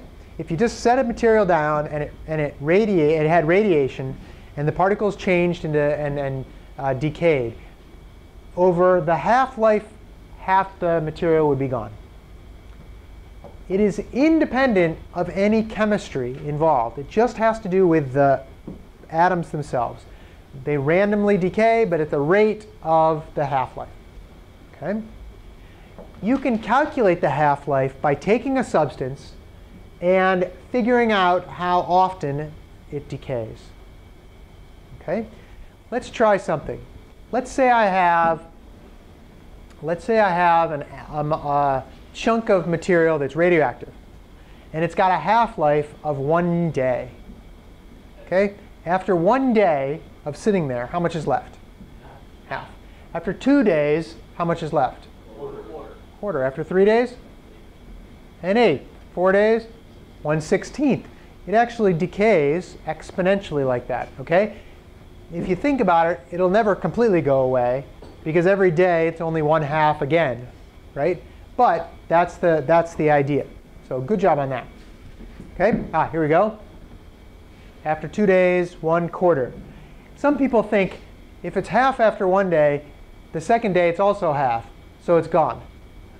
But no, no, it's just half of what's left after that one day. Okay, so it is one quarter. Yeah. Now, the book, gives an example of radium, Mhm. and it after 20 half-lives, the initial quantity of radium will be diminished by a factor of about one million, Yep. and that's when it loses its radioactivity. Is that No, not really. I mean, let's if you have a chunk of radium, okay? uh, does it say the half-life? How long it is? I don't know if it says. A lot. It's, uh, 1,620 years. Okay, so after 1,620 years, that chunk, that container of radium, half the radium's gone. It's turned into something else. Okay? After another 1,600 years, the next half is gone. After 20 years, one, it's got about a millionth of the, what you started with left. So there's still some left, but it's a 20 million. Which is, oh, sorry, 20 half-lives? Yeah. So, okay, so 1,000 times 20 20,000 years, it's down to uh, one millionth of where it started. So that's the way you can figure it out. And you can always, you can do it by just, you square it, then you cube it, then you, or you square it, then you, one, then you do it to the fourth, then you do it to the eighth, et cetera, et cetera. So you can do it that way. That's just happening because protons are getting emitted from uh, pro, or other particles. We'll talk about the types of decay. We already talked about them, but we'll talk about specific examples in a little bit. Yep. Okay. So here's the exponential scale I was talking about. They decay at the rate based on their substance. Okay.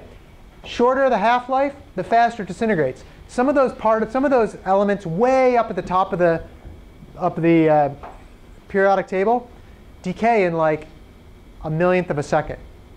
They're there, then they're gone. Because they're just so big, they just decay. Okay? But some things like uranium, uranium has a half-life of, anybody remember from the reading, roughly? Four and a half billion years. So the, rate, the uranium that started when the Earth started, about half of it's gone now. Okay, it's going to be another four billion years before the rest of it's before the next half is gone, before it's a quarter. Unless we use it to blow the planet. Well, if we mine it and then, uh, well, so yeah, uh, right. I mean, if we mine the uranium and then start what's called a chain reaction, which we'll get to, you can make the uranium decay faster, but that's because the you're you're causing it to decay faster. Okay. All right. Transmutation is when one element changes into another element. Mind-blowing stuff. It wasn't until like the 1930s that anybody had any idea that this happened right? Actually, I guess it was a little, a little earlier than that, 20s maybe. Nobody had any idea this happened until this guy Rutherford came along and figured out some of it. Okay? Here's an example. Okay? If you have nitrogen, which has seven protons, let's say you have nitrogen 14, which also has seven neutrons. If you shoot a neutron at nitrogen, okay, how you do that is a different story, but if you shoot it there, it might, might get absorbed, okay, into the atom and then shoot out a proton. If it shot out that proton or a, hel- a hydrogen nu- nucleus actually, it now has six protons.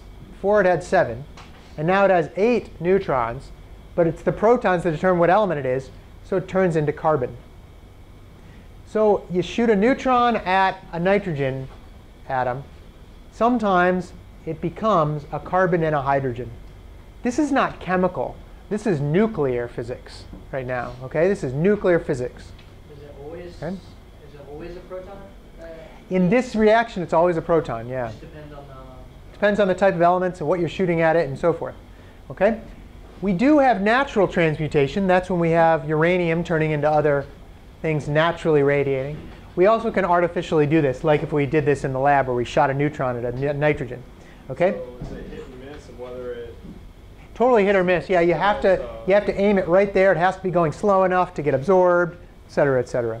what, is it hit and miss of whether it expels a proton versus a, No, in this one it will always expel a proton in this case. Okay. We have alpha transmutation where you get an alpha particle, which was what? Helium nucleus, helium nucleus. If you get rid of the a helium, right, which has two protons, okay, and two neutrons, you decrease the mass by those four amounts. Four, you get down by four on its mass.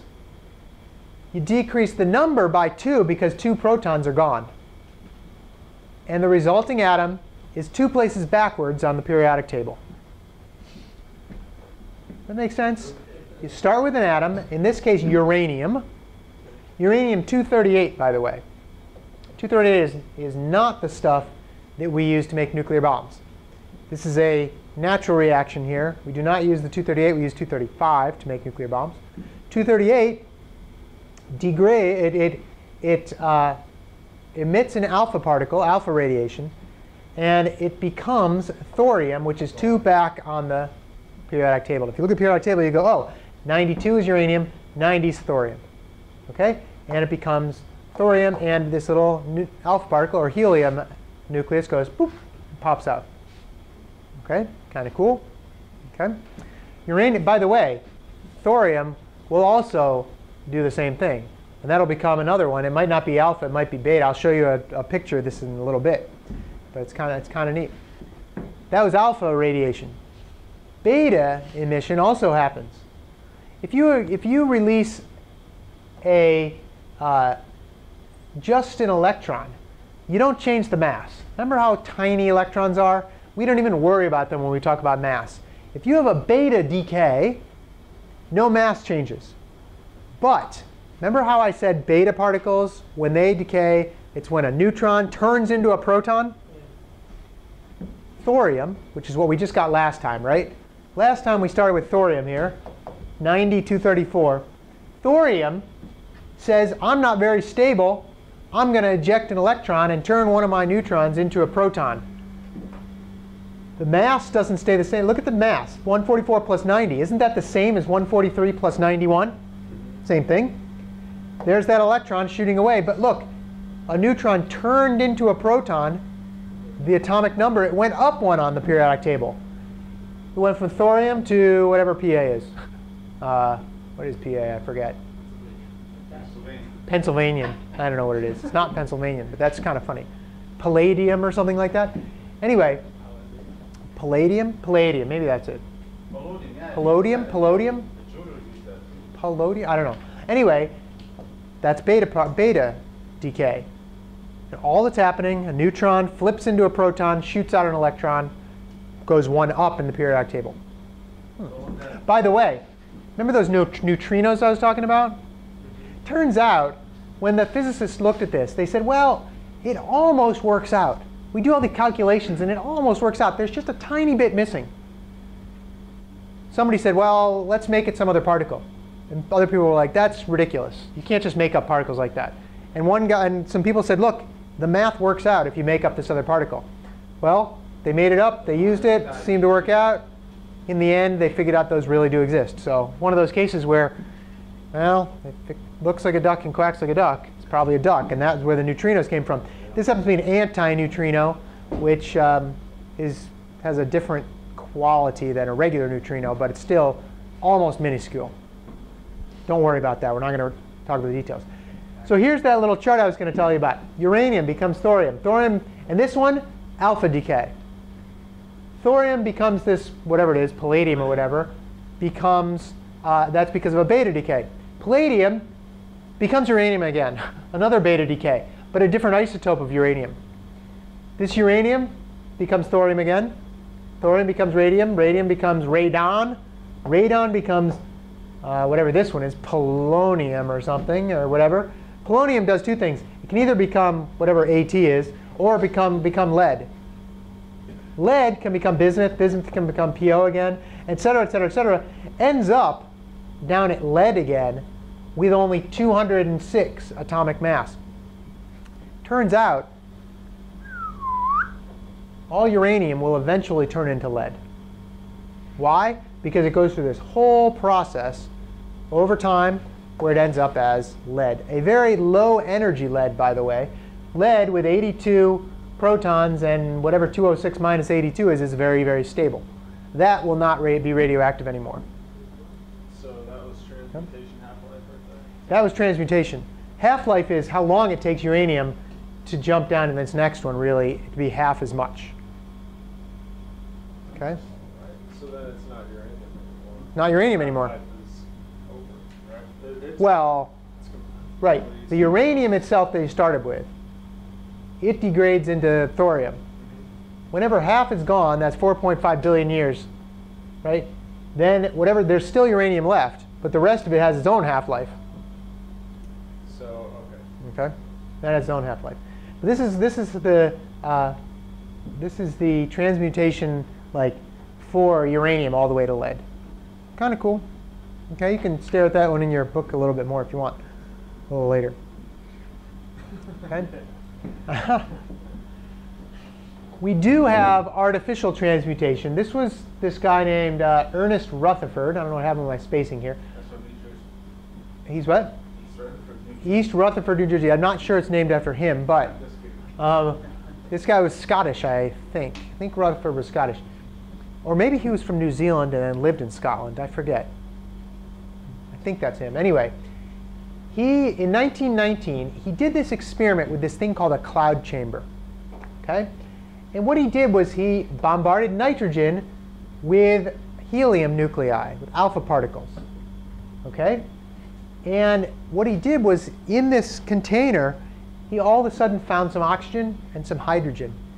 And he said, What's going on? And his one of the other guys in his lab said, That's transmutation. And Rutherford first said, Don't call it that. They'll think we're, we're alchemists and they'll call us crazy. but the term stuck. And so it's transmutation. We've actually created 93, atomic number 93, all the way up to 115 by these bombarding methods. Okay? But here's what he did. This one looks somewhat familiar. Helium hits the nitrogen. We get an oxygen, and we get a proton out of it, a hydrogen. That's what happens. Now we get H2O. Okay? Uh, that is not how we get H2O. But um, yeah, maybe he did notice some water vapor or something. I'm not sure. You might, once these guys are there, you'll get a hydrogen and two. If two oxygens came together, you'd get, uh, is it H2O? Sorry, two hydrogens and an oxygen. So two hydrogens and then an oxygen. Okay? All right. Check question. Ready for this? By When an element spits out an alpha particle, what happens to the resulting element? Does the atomic number go down by two, go up by, go down by four, increase by two, or increase by four? Atomic number is the number of protons. If you got rid of two of them,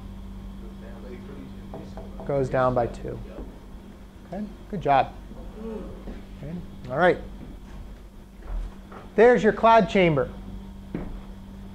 I don't exactly know how cloud chambers work. I didn't didn't look it up. But cloud chambers basically when you shoot particles in there, okay? there's uh, electric fields in there and whatever. When you shoot particles in there and you bombard other particles off, off each other, when they when they transmute and when they uh, decay into other particles, you can see the traces of them in these cloud chambers. If you take a picture of it, you can tell, for instance, hey, a particle going this way must be curving, so it must be a like alpha particle if it's curving this way. If something curved the other way, it could be a beta particle. Like, see how this one's curving the other way? Might be a beta particle. Okay? Yeah, because it's not, not straight.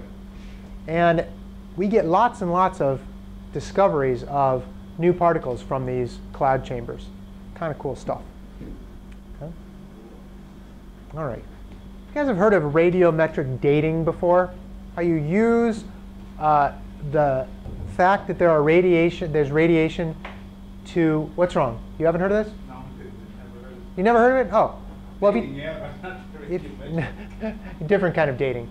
Um, no, this what radiometric dating means is that we can tell how old something is by measuring the quantities of certain radioactive elements in those objects.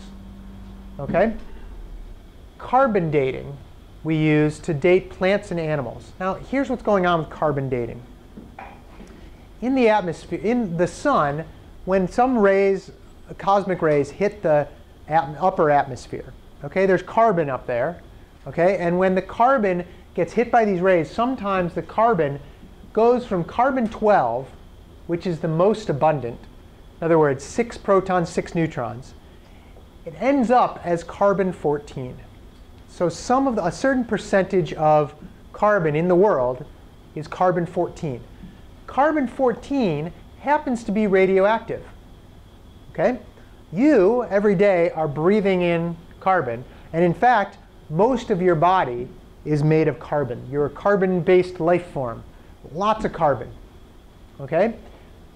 If you've got carbon 14 in you, while you're breathing, you're continually replacing any carbon 14 that decays. Okay, so you get that? Carbon 14 is in your body, it decays, but you're constantly breathing more carbon 14, which is replacing the carbon 14. When you die, you stop breathing. I don't know if that's a surprise to everybody, but when you stop breathing, you stop replacing that carbon. The carbon 14 decays, decays, decays. And if you're not replacing it, over time, there's going to be less and less and less. We know what the half-life of carbon is. It's about 5,760 years. We can predict roughly how much carbon is in somebody's body when they die. It has to do with the amount of the average amount of carbon 14 in the atmosphere. Now it turns out that that changes over time. Way back like millions of years ago, the amount of carbon in the atmosphere might have been different than now. But within the like 50,000 years from uh, uh, 50,000 years ago, we can get this pretty well. So what this means is something dies. 40,000 years ago, something died. It had X number of carbon molecules in it. Some percentage were carbon 14. If today we measure the carbon 14, and we can do that using like Geiger counters that measure radioactivity. If we can measure how much carbon 14 is in a skeleton or a fossil, we know how much there we know how much there is. We know how much there should have been when that when when something died. Okay? We can use this to say, okay, 5,760 years ago there'd be twice as much.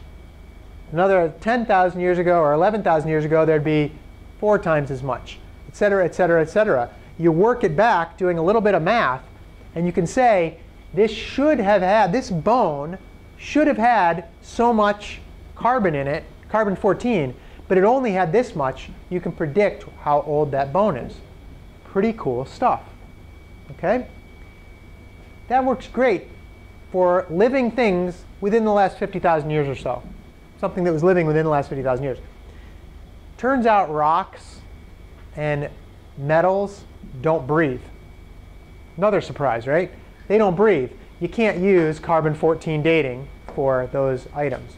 You can use uh, uranium, which you've all got some uranium in your body, most likely. Or you could use, but, but things like rocks and things will have a certain percentage, might be uranium or lead, okay? And you can figure out how much you can use those to date them. And it's actually for a much longer span of time because the half-life of uranium is actually 4 billion years. Yeah. So how about fossils that were living but are rocks now? Uh, fossils that were living but rocks, again, if it's more than 50,000 years, we have to use some other method. Possibly lead dating, but uranium dating, probably not so much. There's other ways to do it, but this is a pretty, pretty good way to do relatively recent All things. these figures are accurate or? They're pretty accurate. Now, if you look at if you look at something, you say this bone is you know 40,000 years old. It'll say 40,000 plus or minus some amount. That reminds me. That reminds me of my favorite science joke. So, forgot about. Wait, we we need a very exact. All right, here's my favorite science joke. So two guys walk into a natural science museum, dinosaurs and things. Okay, they walk up to this Tyrannosaurus Rex, and the one guy looks, turns to the other guy and goes, "That dinosaur is a million and four years old. It's a million and four years old." And the other guy looks at him and goes, "How do you know it's a million and four years old?" And the first guy goes, Well, I came here four years ago and they told me it was a million years old. Right? And that's actually a joke about significant digits. It's also a joke about this kind of like rounding, right? You can't say that something's exactly a million years old. You can say it's a million, a hundred thousand years from now, it's still going to be a million years old. When does it turn two million?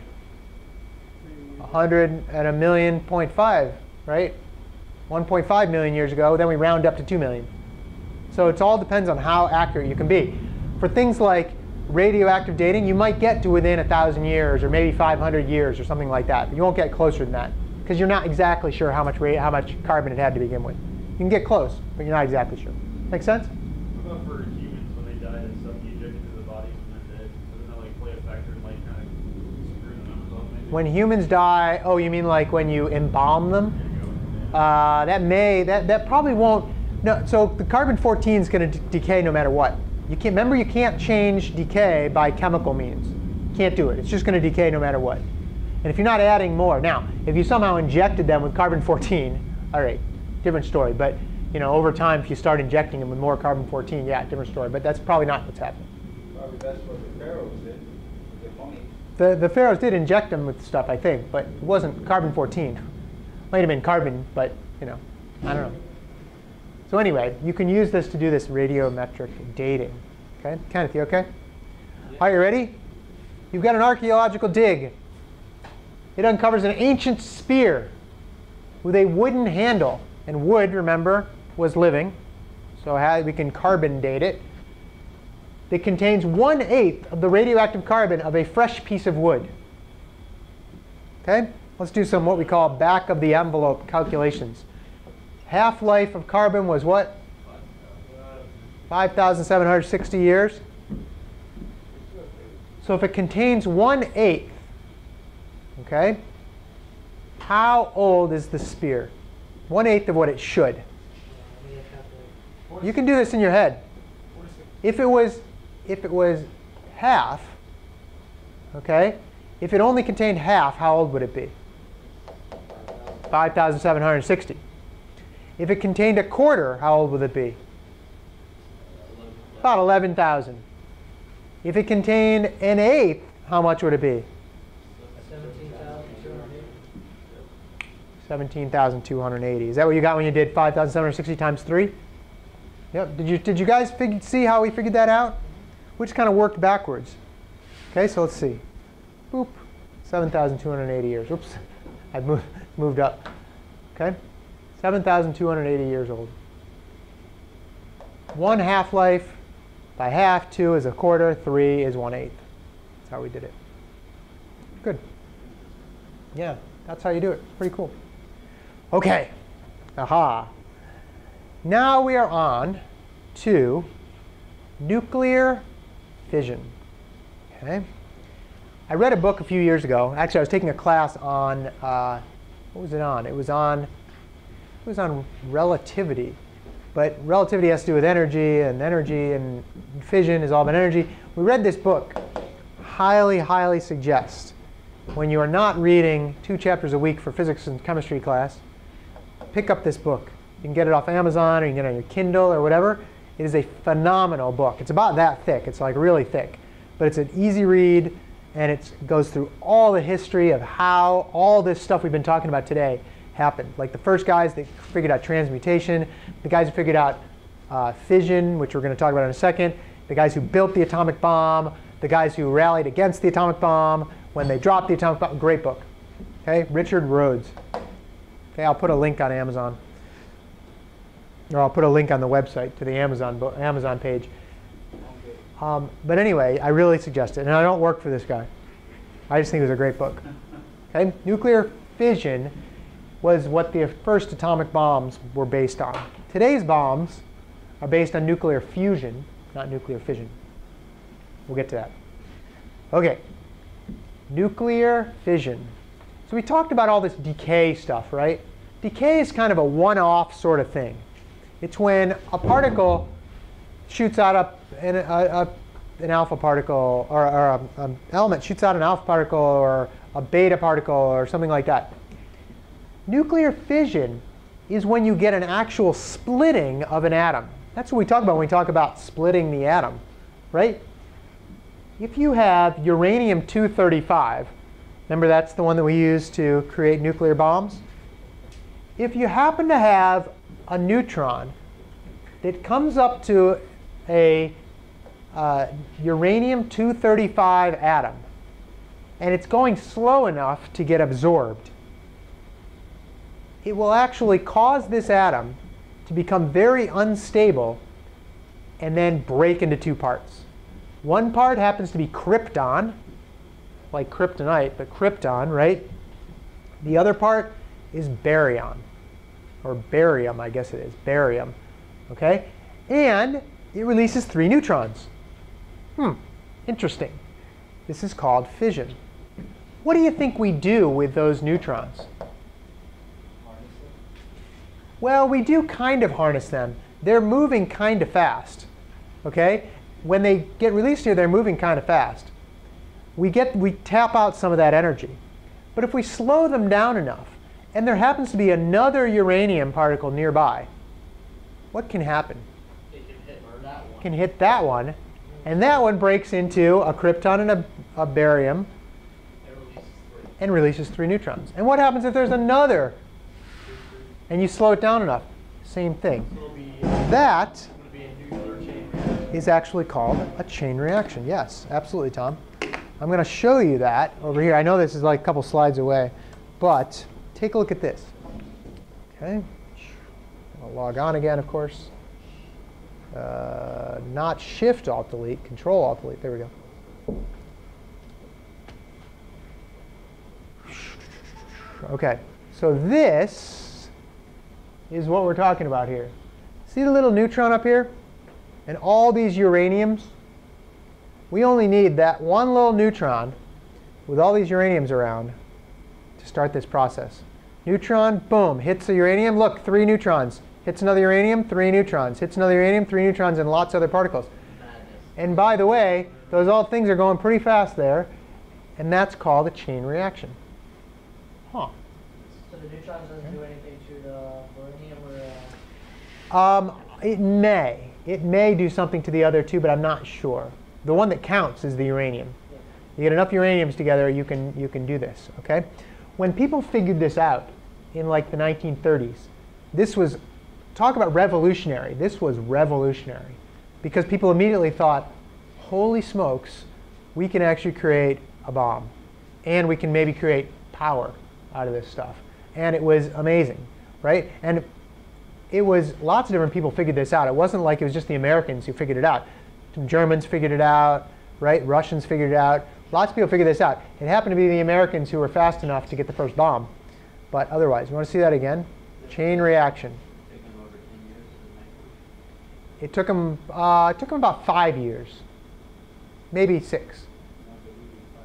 Okay, there you go. Manhattan Project? Ch- The Manhattan Project, yeah, that, that book, by the way, talks all about that stuff. Okay, oops, let me see, hang on, wrong one. Wasn't the Manhattan Project held in New Mexico? Uh, the Manhattan Project was in uh, New Mexico, yes. Yep. So let's see if we can look at fission here.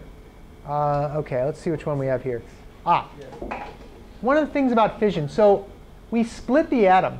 One of the interesting things about this is you know how those, we, we show that those, those neutrons go pretty fast and uh, the other two particles actually go kind of fast too? Turns out that if you measure the mass, so here's a uranium, can you guys see that? Here's a uranium atom and here's a neutron. Okay? If you put these guys on a scale, boop, and boop, put those on a scale. And this is the krypton, and this is the barium, or it might be the other way around, and three little neutrons. You put those on a scale, what should they, what should happen? Should Should balance out, right? Whoops, come on. Okay, so let's see. We put, nope, oh, almost. One more, and one more. Boop.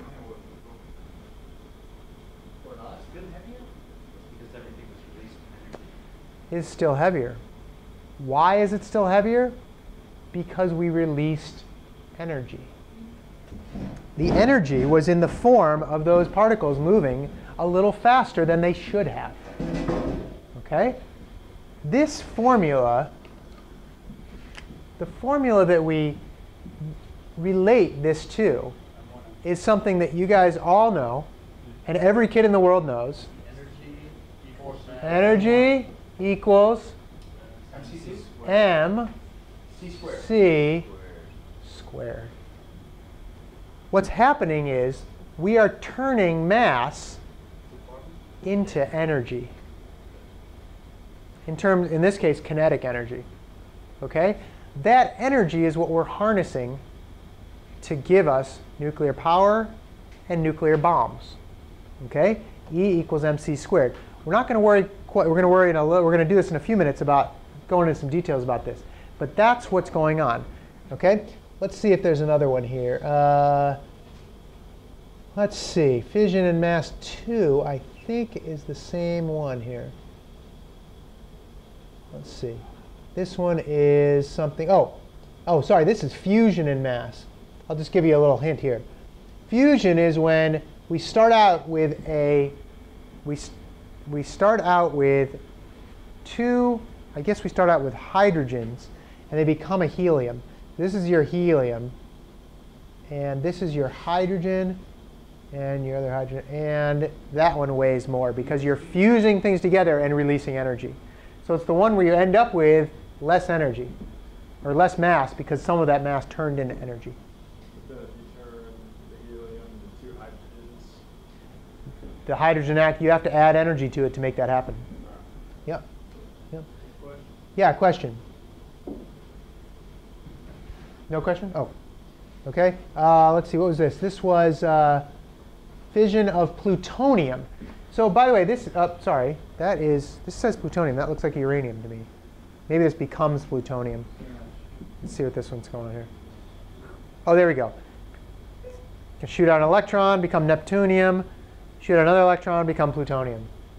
And then finally, the plutonium gets a neutron and splits into boom, boom, boom, and three neutrons. So the plutonium's the one that we care about when we want to make nuclear bombs. Okay? This is actually the second nuclear bomb was made of plutonium.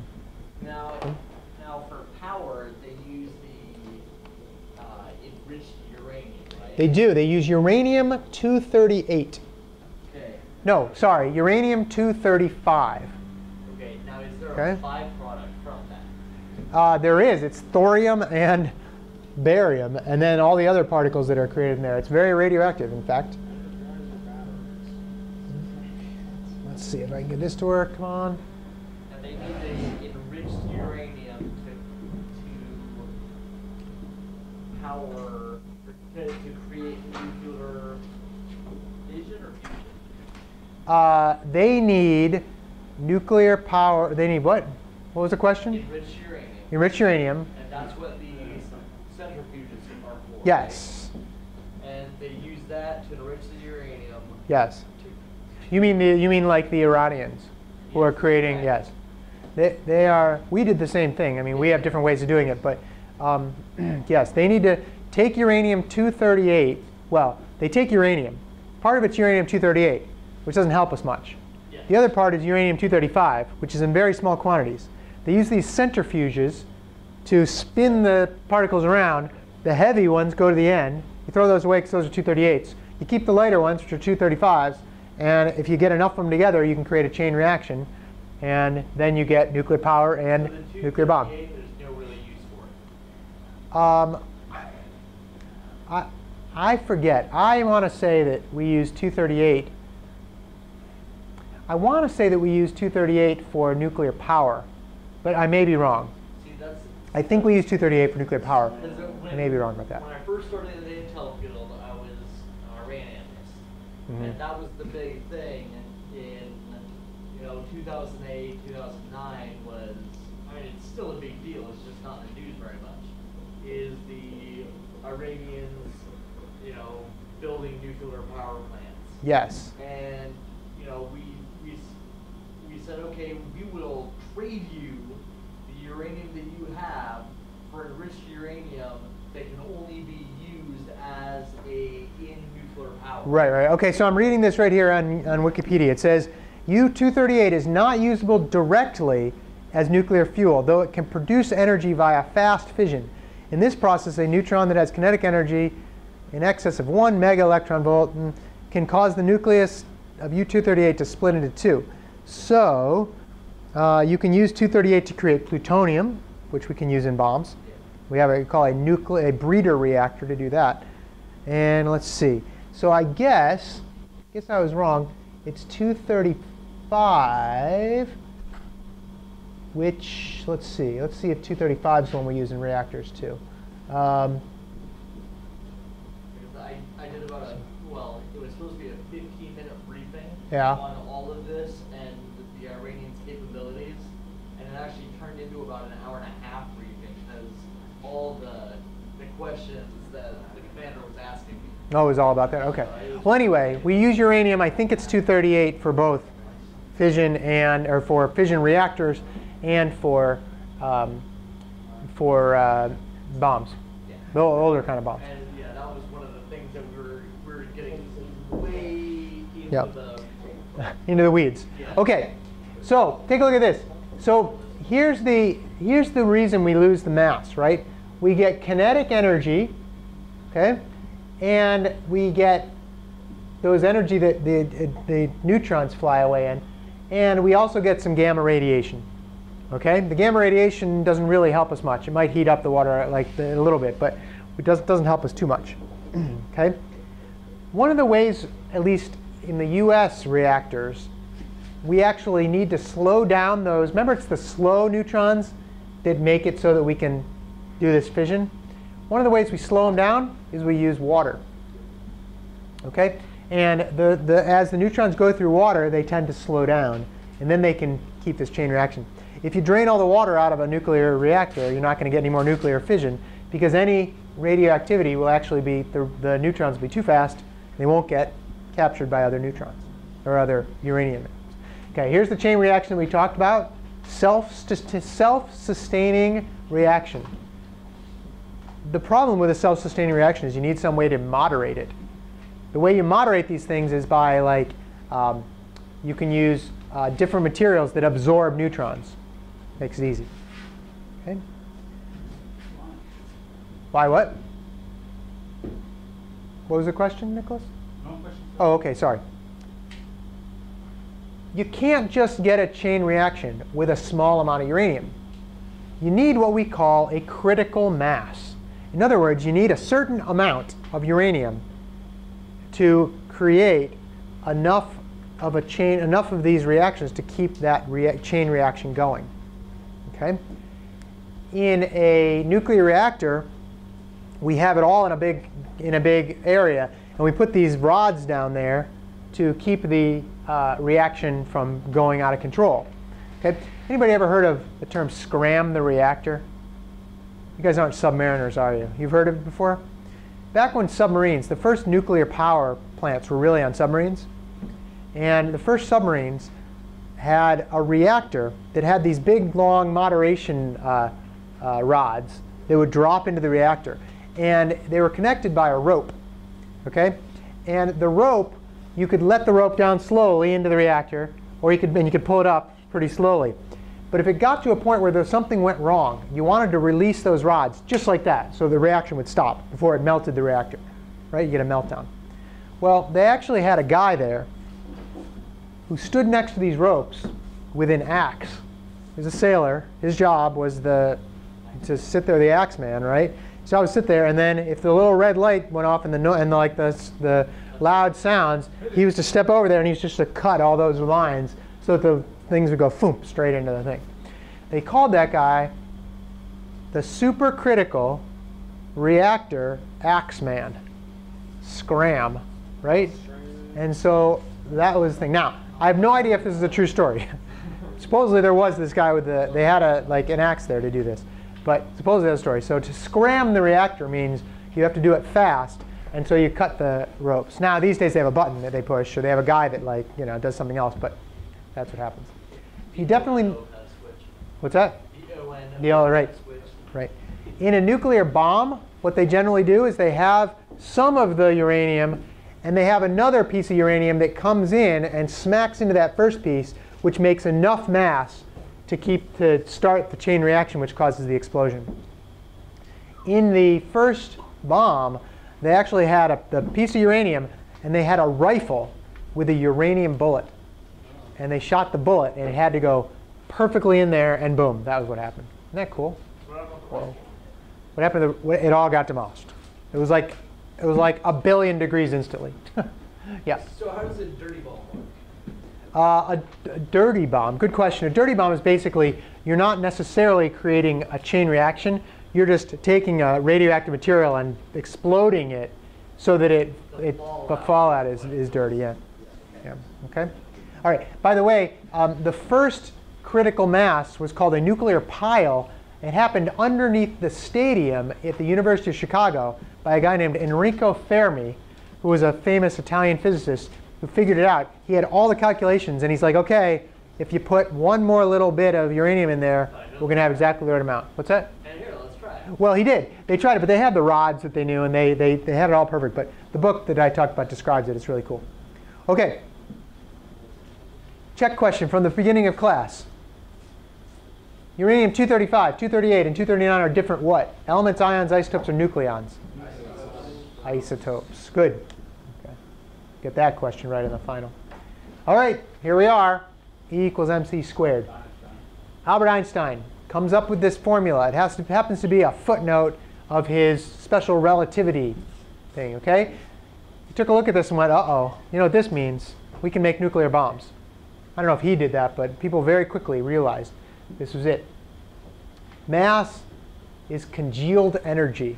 A weird way of putting it, but that's the way it is. World famous equation, key to understanding why energy is released in nuclear reactions. We already talked about that when we weighed those two particles, or those sets of particles. The stuff you start with weighs less than the, or sorry, more than the stuff you end with, meaning some of that mass was turned into energy. Pretty cool. Okay? The more energy for the particle, the greater the mass. The mass of a nucleon outside the nucleus is greater than the mass inside. So when masses come together into a nucleus, they actually they actually uh, gain mass. Okay? The greater the mass of the nucleon, the energy required is, is really the amount of energy it takes to pull them apart or to squish two, two tiny ones together. Okay?